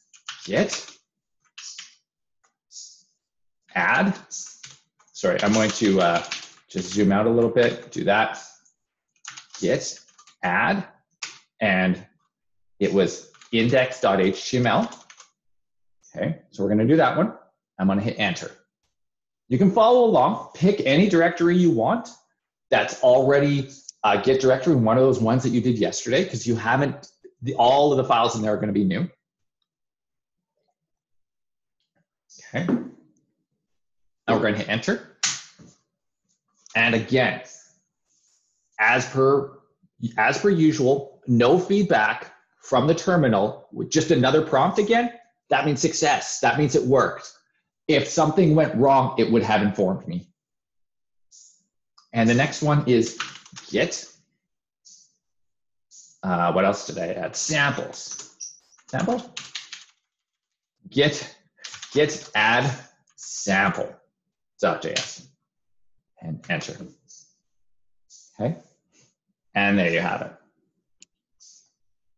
So, yeah. you can add um, two of them in one line. Yeah. You can add two of them in one line. You can add all of them in one line.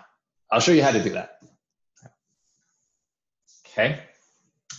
So we're going to, now we've added the two that we care about. We're going to do git status. And we're going to see hmm, a new, new thing. We're to see some green. Okay. Still on branch master, no commits net. So usually the process is add some git status find out what is what the hell is going on okay it gives you some information no files tracked or these are added but they're not like it'll give you a bunch of stuff bunch of information then then you do some work um, doing some adding adds add the files you want to track and then you type in git status again to make sure that you're doing that you got everything that you wanted okay so it had said i had three untracked files now it says I have one untracked file and two changes to be committed. So I have not yet backed these up. All I've done is said, mark these files to be backed up when I push the button to do the backup. So what's going to happen next is I'm essentially saying, okay, I want this file backed up, this one, this one, this one, this one, this one, this one, this one, this one. Okay, so I've told you all the files that I want backed up, but now I still need to push the button, the backup button. And then what will happen is it will say, okay, here's all the files you told me to back up. Now I'm going to back them up. Okay. And it will leave this one out. And that's fine. Okay. I don't want it to be backed up. So that is what this green stuff is going for here. Changes to be committed. Okay. So this is called the staging area. These files are staged. They're on stage, they're ready to be backed up they're the ones that are going. So that that's what that means. This is the staging area. Okay. So where it says use this command to take a file out of staging. So we can actually get this file back down into here, right? We can unselect it like, oops, I didn't, I actually didn't want that file to be backed up. If we do this, git rm dash dash cached index.html. And then if I do a git status, that one moved back from the staging area back into files that I don't want backed up. So we can move them back and forth if we need to. Okay, but I do care about that. So I'm gonna git add index.html again. Oh, by the way, your tab for autocomplete of paths and files still works here.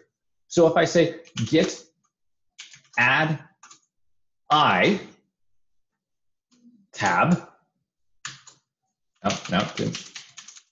Oh, it must be git add in. It's already added, so. Oof. A little bit. But what if you add something that's already been added? Yeah, if you add something that's already been added, it doesn't like that. I just tried it. Okay. Um, so it has to be not added. But if it's not added, then you hit tab, it'll autocomplete. Okay, that's pretty standard for everything in terminal. Whenever you're talking about a path or a file, tab for autocomplete is pretty common. It doesn't try to autocomplete commands. Like it's not going to try to autocomplete get a tab. Okay, it won't try to autocomplete the command because that's a command. But this piece here is a file or a path to a file. Those can be auto-completed pretty much everywhere in Bash for everything. Okay, this not just Git, not just Bash commands, pretty much everywhere all the time. Sorry, I mean, what what if you uh, what will the uh, Git response if you add something that's already Oh, what will the Git response be? Nothing. Just okay. Yeah, you added it twice. Ooh, big deal. Nothing changes. so will they create two oh okay No, no, no. It's like you check the checkbox and you just drew over that checkbox with another check again, right? It's not any doesn't reinforce anything. It doesn't create another copy of it. No, no. So we've marked these files. Now, aside from turning green, there's a new piece of information beside it. New file. Okay. Now you're going to get a variety of little pieces of information. Sometimes there will be new files. Sometimes there will be changed files. And we'll see that right away. These are new. The reason why it says this is because they're new. They've never been backed up before. That's what it's saying. I've never tracked this file before. This is brand new to me. So just letting you know, new file. Okay. So now we have this setup ready. We have our we have our repository created. We have new files added. We, we created new files, right, in our directory. It Git noticed them. It said, hey, you've got new files. What do you want me to do with it? I said, track this, track that. Okay, now it's time to push the backup button. So that that is called a commit. So we're going to take a snapshot now.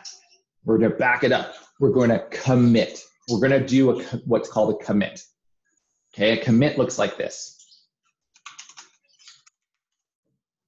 Git commit.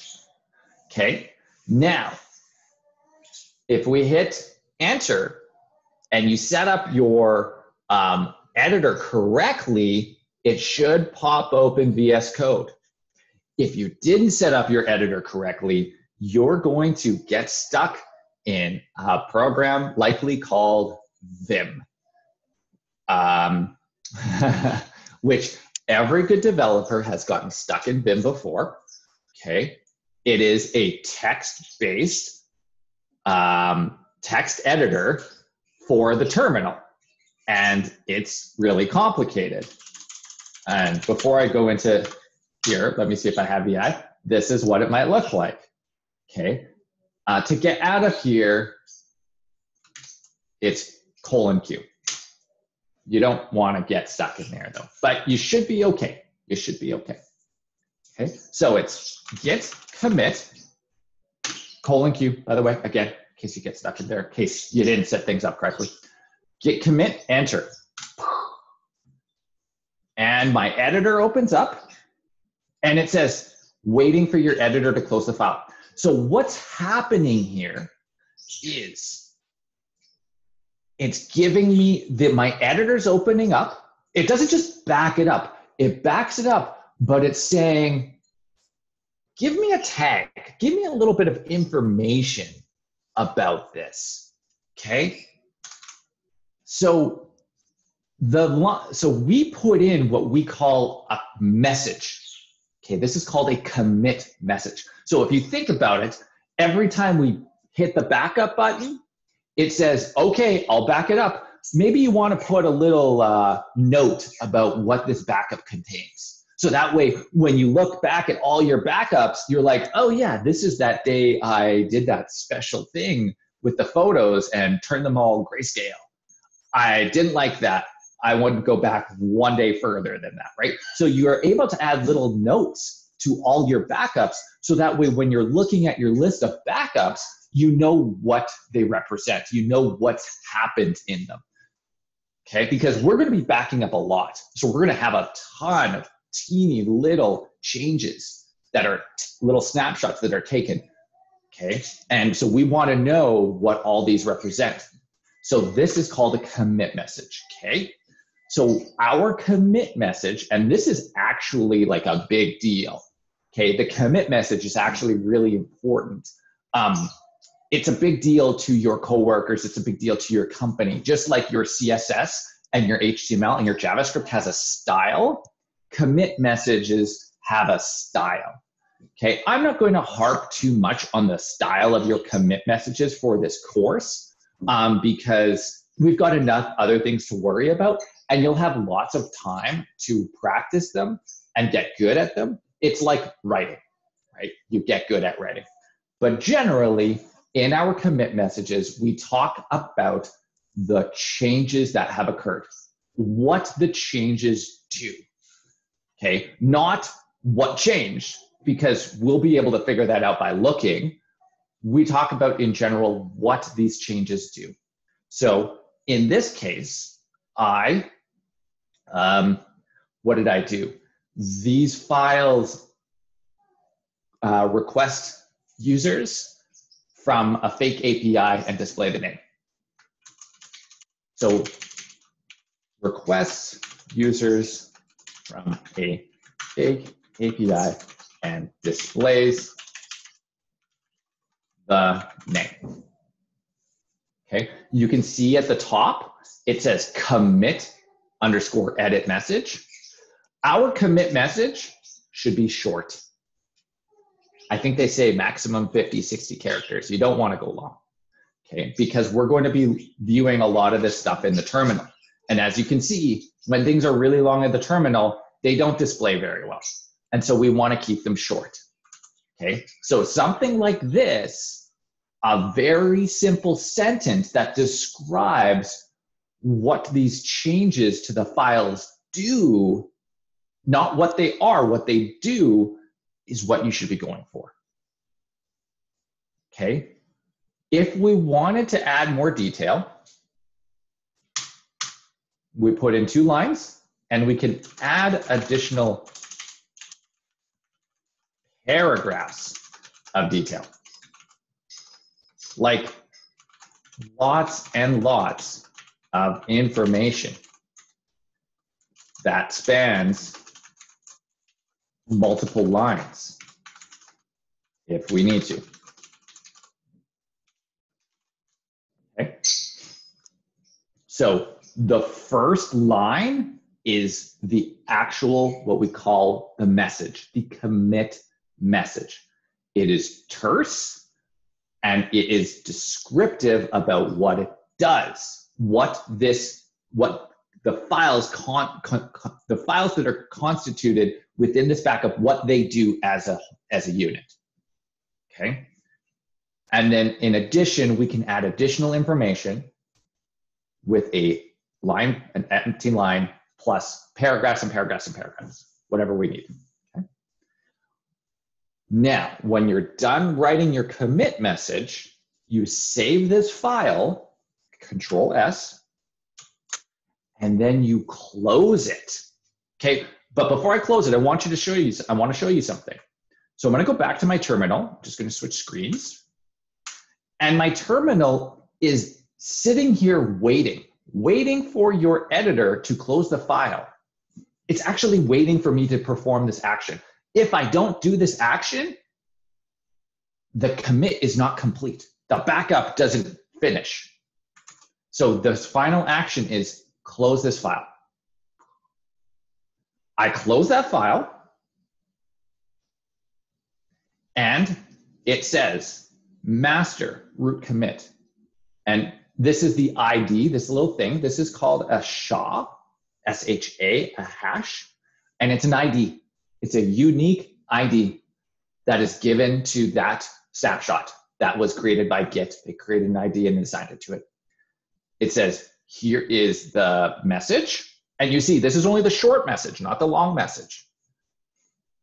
And it said, two files changed, right? I added two files, 29 insertions. That really means 29 new lines of code were added. Create mode. It created a new file, index.html, and created a new file, sample.js.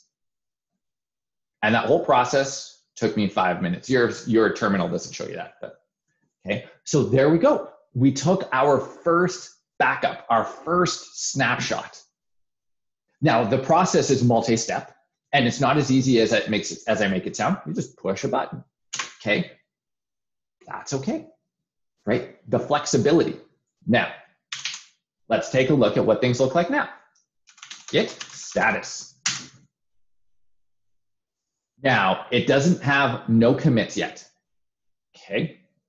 What we do have instead is we have untracked files. We still have that one untracked file.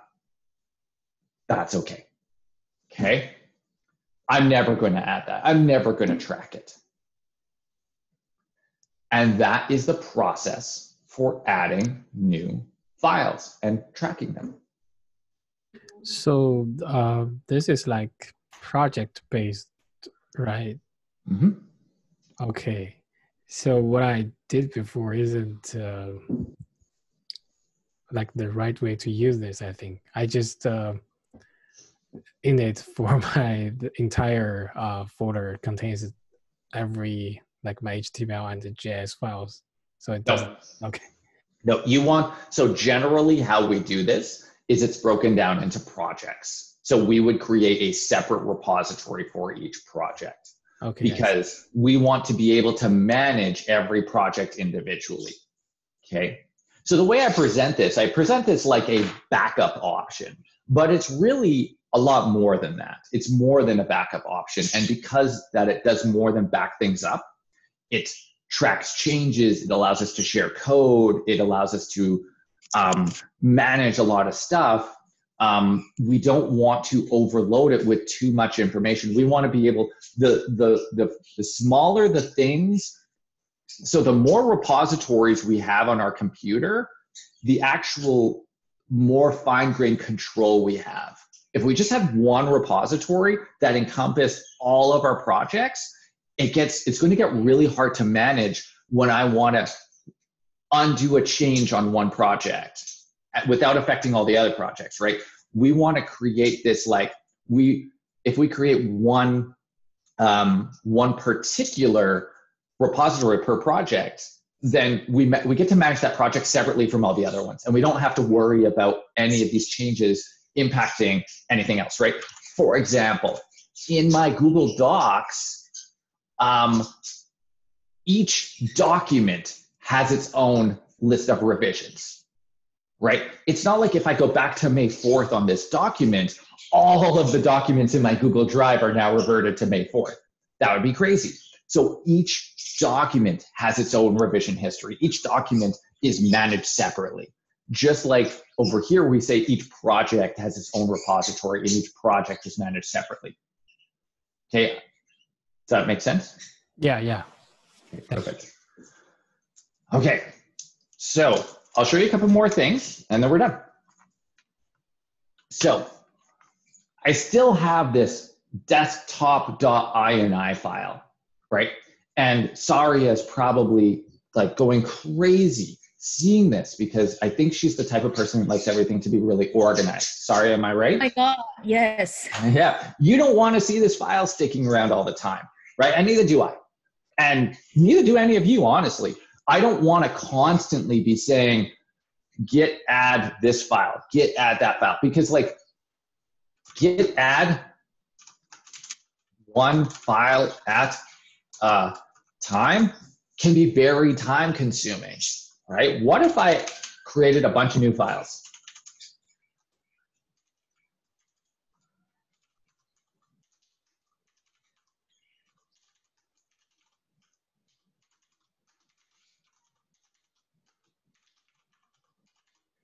Okay, so I create a bunch of new files.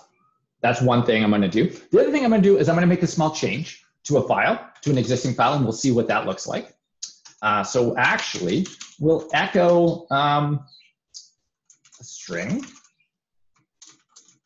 and we'll append it to index.html. Okay, so that changed index.html, added some stuff to it, and I'm going to remove a file, sample.js. So I just did a bunch of work here, right? I removed a file, I added a bunch of new stuff, and I changed the file. Okay, so the day's over or the time, like it's lunchtime, I'm gonna go eat. One of the tenets of this, of Git, is, yeah, commit early, commit often. Okay, so take many snapshots and take them. So take many snapshots and take them before you think you need them. Okay. It's not uncommon for new developers to go days without taking snapshots. And that's not very helpful because we're sitting there all day programming. We're changing things all day. And three days down the road, I say, oh man, three days ago, I had the best idea and I was on the right path.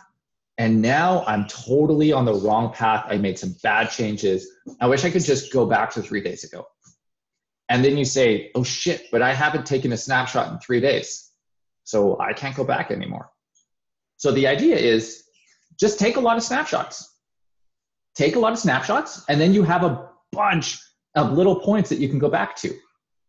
The other idea is group your snapshots together in a logical sense. So if you do something like complete a new method that it took you a couple hours to write, maybe you should take a snapshot at that point.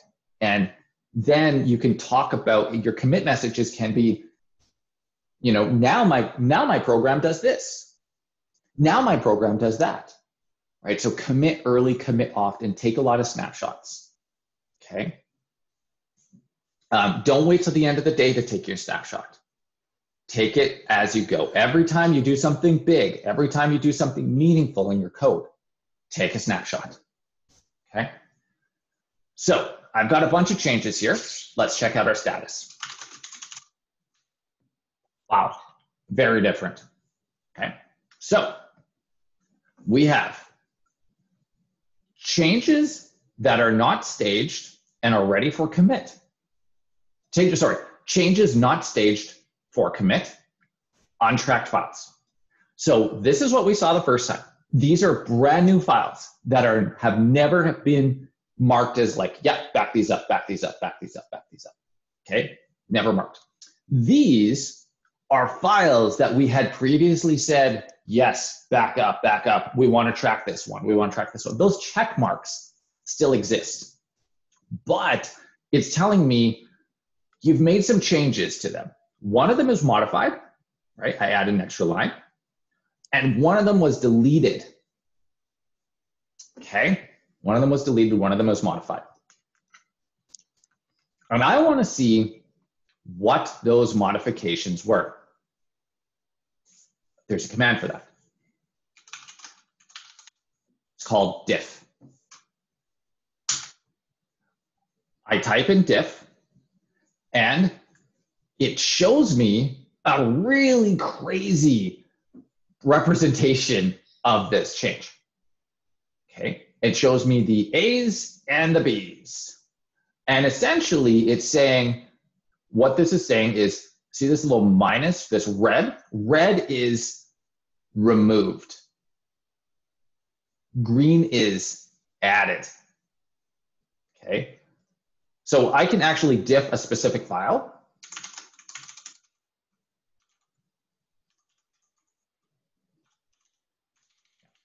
I'm going to diff this one because you can only diff things that have changed. Both of these were changed and they've been tracked. And it shows me this is what was removed, this is what was added. Technically, every time you change a line, that line gets removed and the new line gets added. And all I did was I added a little something to the line, but it's kind of treating it like the whole thing was removed, then the whole new one plus a little bit of stuff was added. Okay, so minus means minus red means removed, plus green means added. Don't worry about the rest of this stuff. You'll figure that out later. And this is a little hint. Now that the terminal's gone, I probably need to hit Q to get out of here. Okay, and then if I look at sample.js,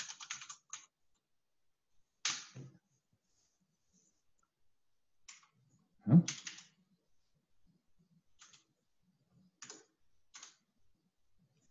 ambiguous unknown revision or path in the working tree.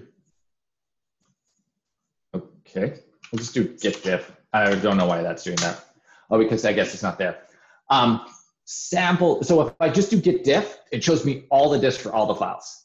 Okay, using less. This is, I'm in less right now, which is why it's waiting for command. Space will allow me to keep going. It shows, what did I do to sample? I deleted the file. So I essentially deleted minus, minus, minus, minus, minus all this code that was inside. Run status again. So that's what these are. So these are like, hey, you've made changes. So there's a couple things here going on. One,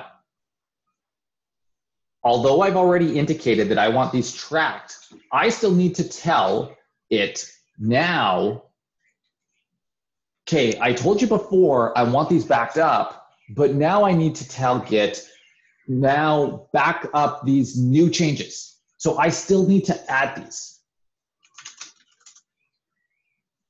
Index. And sample.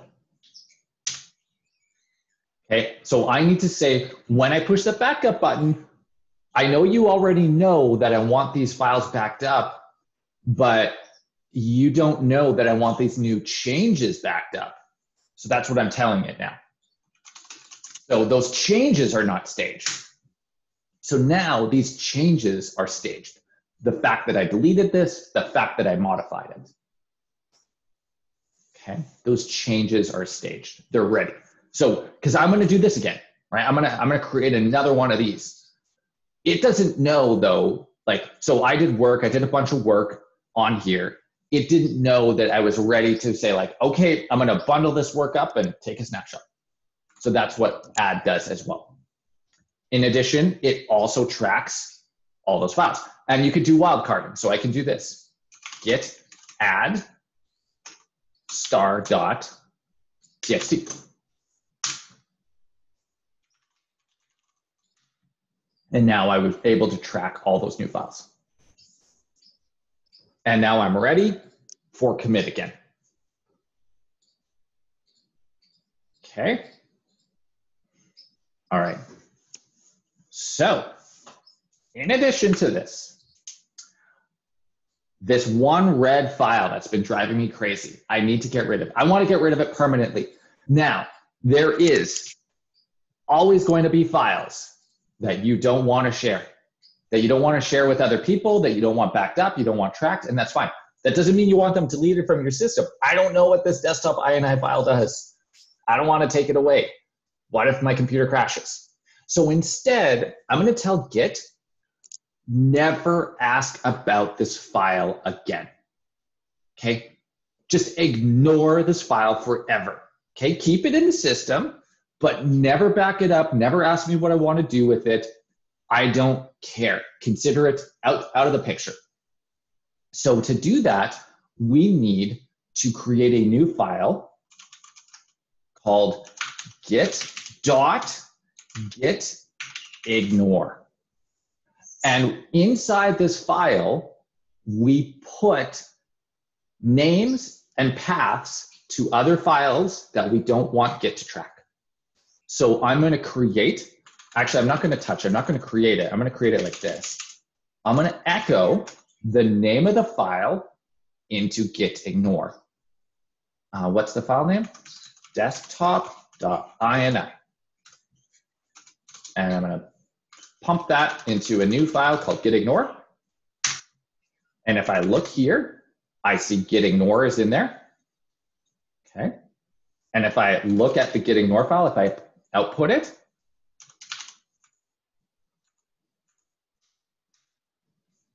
all it contains is one line, and the one line is desktop.ini. That's it.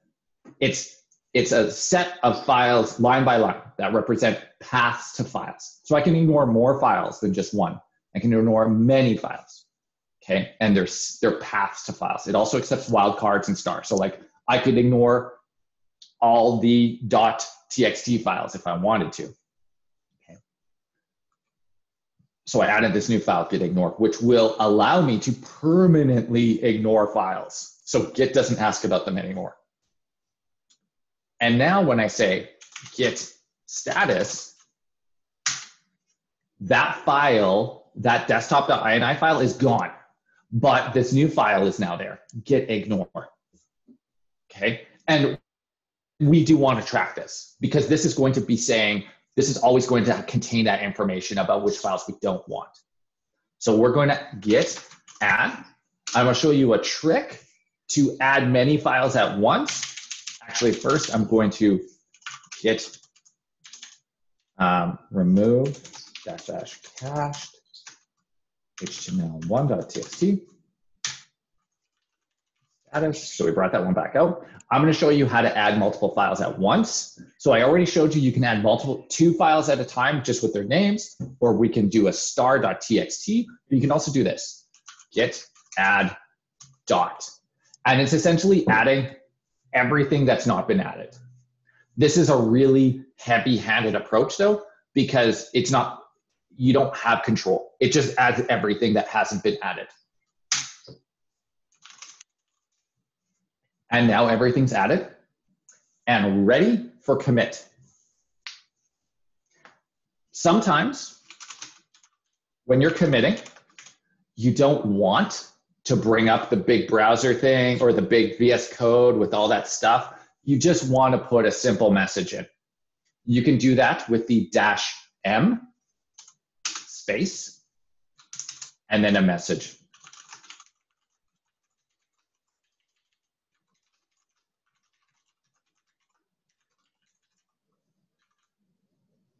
And enter.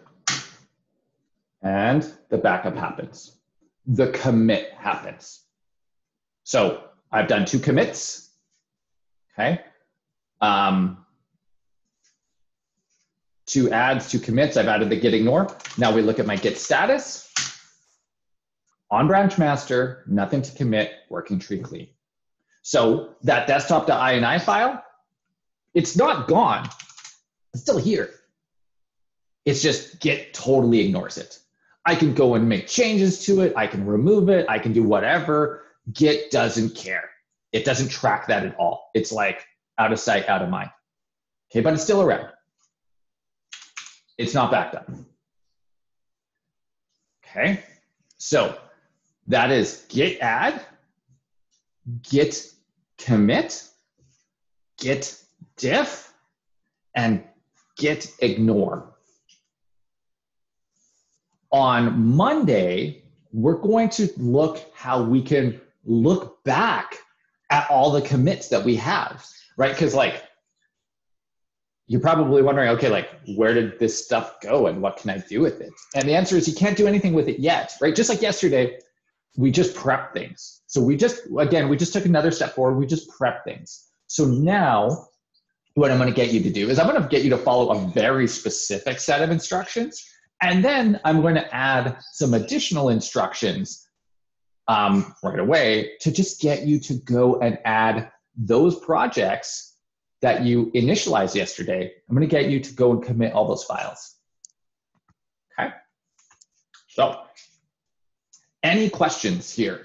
Anything that you want me to cover again or review? Uh, yeah, yes, sir. So can you go a little bit up to to your previous comment, like the echo echo things? Like, do you echo the yeah, yeah, yeah. Right. stuff? here. Yeah, yeah, yeah. Why why there is a single quote over uh, after uh, like after the echo? Oh, oh, I didn't need to. I didn't need to. Um, because echo, so like I could have done this echo desktop.ini into um, dot git ignore. I could have done no quotes and that would have worked fine because there's no spaces in that word desktop.ini. I just, Okay. I'm just really used to echoing with quotes. Um, that's all. Oh, okay. That good question. Thanks. Uh, one question is, Yeah. um, so s- since you already added all the files to um, your uh, repo, Uh-huh. and uh, uh, if I modify a couple files, so I can also use um, git add dot to Yeah, yeah, here. So we'll echo uh, something out to uh, html1.txt, and then we'll echo something out to html2.txt just to change them. And if we do a git status, those files change, right? We'll do git add dot. Yep. And then status, and they're back. They're added. So I added them all. Now I do git commit. Um, added something special to the files. Yeah, and then okay. I have muscle memory. I've done, I've run these commands. I've been running these commands for 10 years. Right. So I'm really fast at it. I know, I know what's going on. It's gonna take time for you. Mm. Right. Uh, you you use uh, uh, git add dot. Uh, Yeah. If the file uh, changed, they will Yeah. uh, add it to the tag. Yeah, so I these were modified. So they weren't new, they were modified. Git add dot adds everything. Changed files, new files, removed files, everything. Yeah. If anything that is unstaged. So anything red, it will add. Yeah.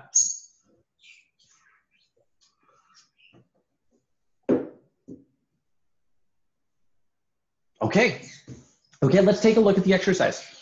So the exercise for this weekend um, is pretty straightforward.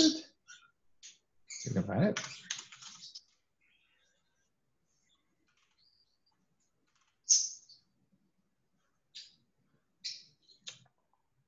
This one. So um, it's like a very structured. The first question is just super structured. Part one, just very structured. Go do this, make that, make a new file, commit these, do this in one command, that kind of thing, like I was doing for Bash. Okay. But part two, actually, I need to pop back into class four. Part two is supposed to be, which I wanted to make it. Take these three. Um,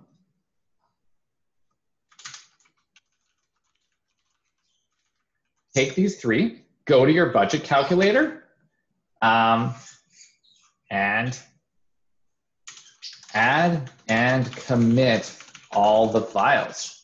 Right? If yesterday you initialized a new Git repository, go back there, add and commit all the files. Give, play around. Play around with different ways of adding the files and committing the files.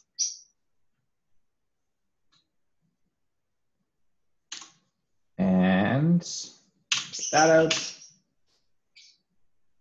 Okay, and we're going to say the same thing for all three. I know you do it once, you do it a thousand times, but it's all about muscle memory. You got to do it a million times. You have to you have to get for 10,000 hours, okay? And all we have is 50. I got to make you experts in 50, not 10,000 hours. Okay, so there we go. Okay, so you're gonna go, the first one, you're gonna make a new repository, you're gonna add some files, you're gonna modify the git ignore. The second part, you're just gonna go to these other things, uh, these other repositories you already created, and you're going to add it. Okay, and actually, part of what we're doing, well, the reason why we're doing two things at once is because um, your exercise also, or so create a new repository for this weekend's exercise in SD140 and commit frequently. Okay, so practice this weekend while you're doing your exercise in the other course and commit early and commit often. Now, it's not going to mean anything to you, okay? But trust me, the practice will pay off. And then on Monday, I'll show you how and why this is so important, why this concept of committing, adding and committing early and adding and committing often is really important because we're going to be able to look back and we're going to be able to actually step back into older versions of our code okay, and see all the changes that were made. Okay, so trust me. So in addition, uh, you have you have this weekend's exercise, which is just that there's only going to be two files, but you're going to be changing those two files often. So every hour, every hour that you're working, just commit them. So just add that as a little note so you remember. Okay. Remember to add. Okay, you can't just commit. You need to add and commit every time. Every time you need to add and commit. Two steps. Com- git status, git add, git status, git commit. Okay. Status is not required, but it's helpful because you need to know what, what you're doing. Any other questions?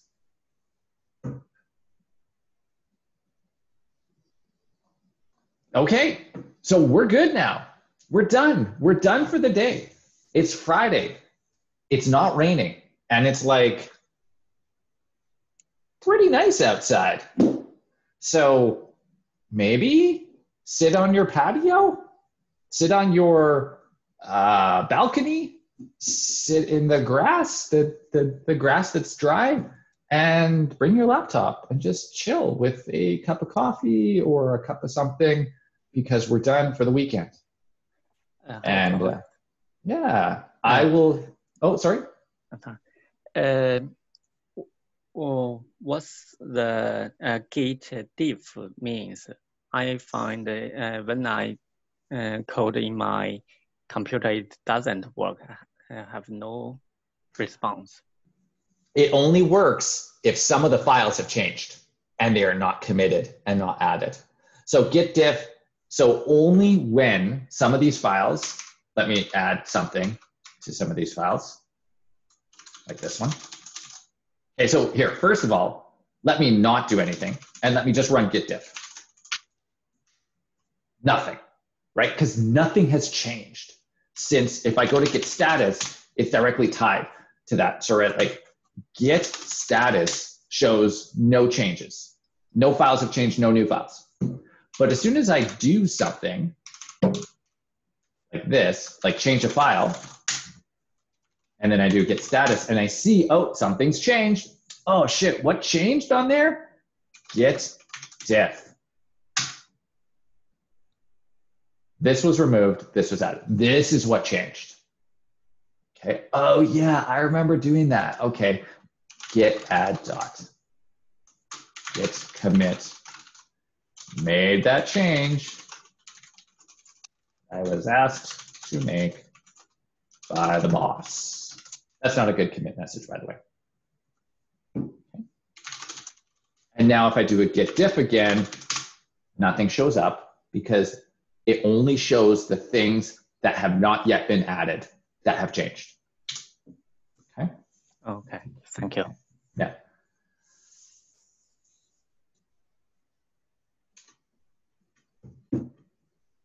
I'm just pausing. Any more questions? Okay, excellent. So let's call it a day. Um, I'll be around. I hope you're around. You've got some work to do. Uh, ideally, do it between now and 3.15 while you have tremendous access to me and Zach. After that, access will be limited. Okay, as usual. So um, good luck. Let me know if you have any questions, and I'll see you Monday, May the 4th. Yeah, Star Wars Day. I don't really care. I'm I'm a, I'm a Trekkie, so. But I'll see you then, anyways. I'll see you guys later. Have a great weekend. Have a great weekend.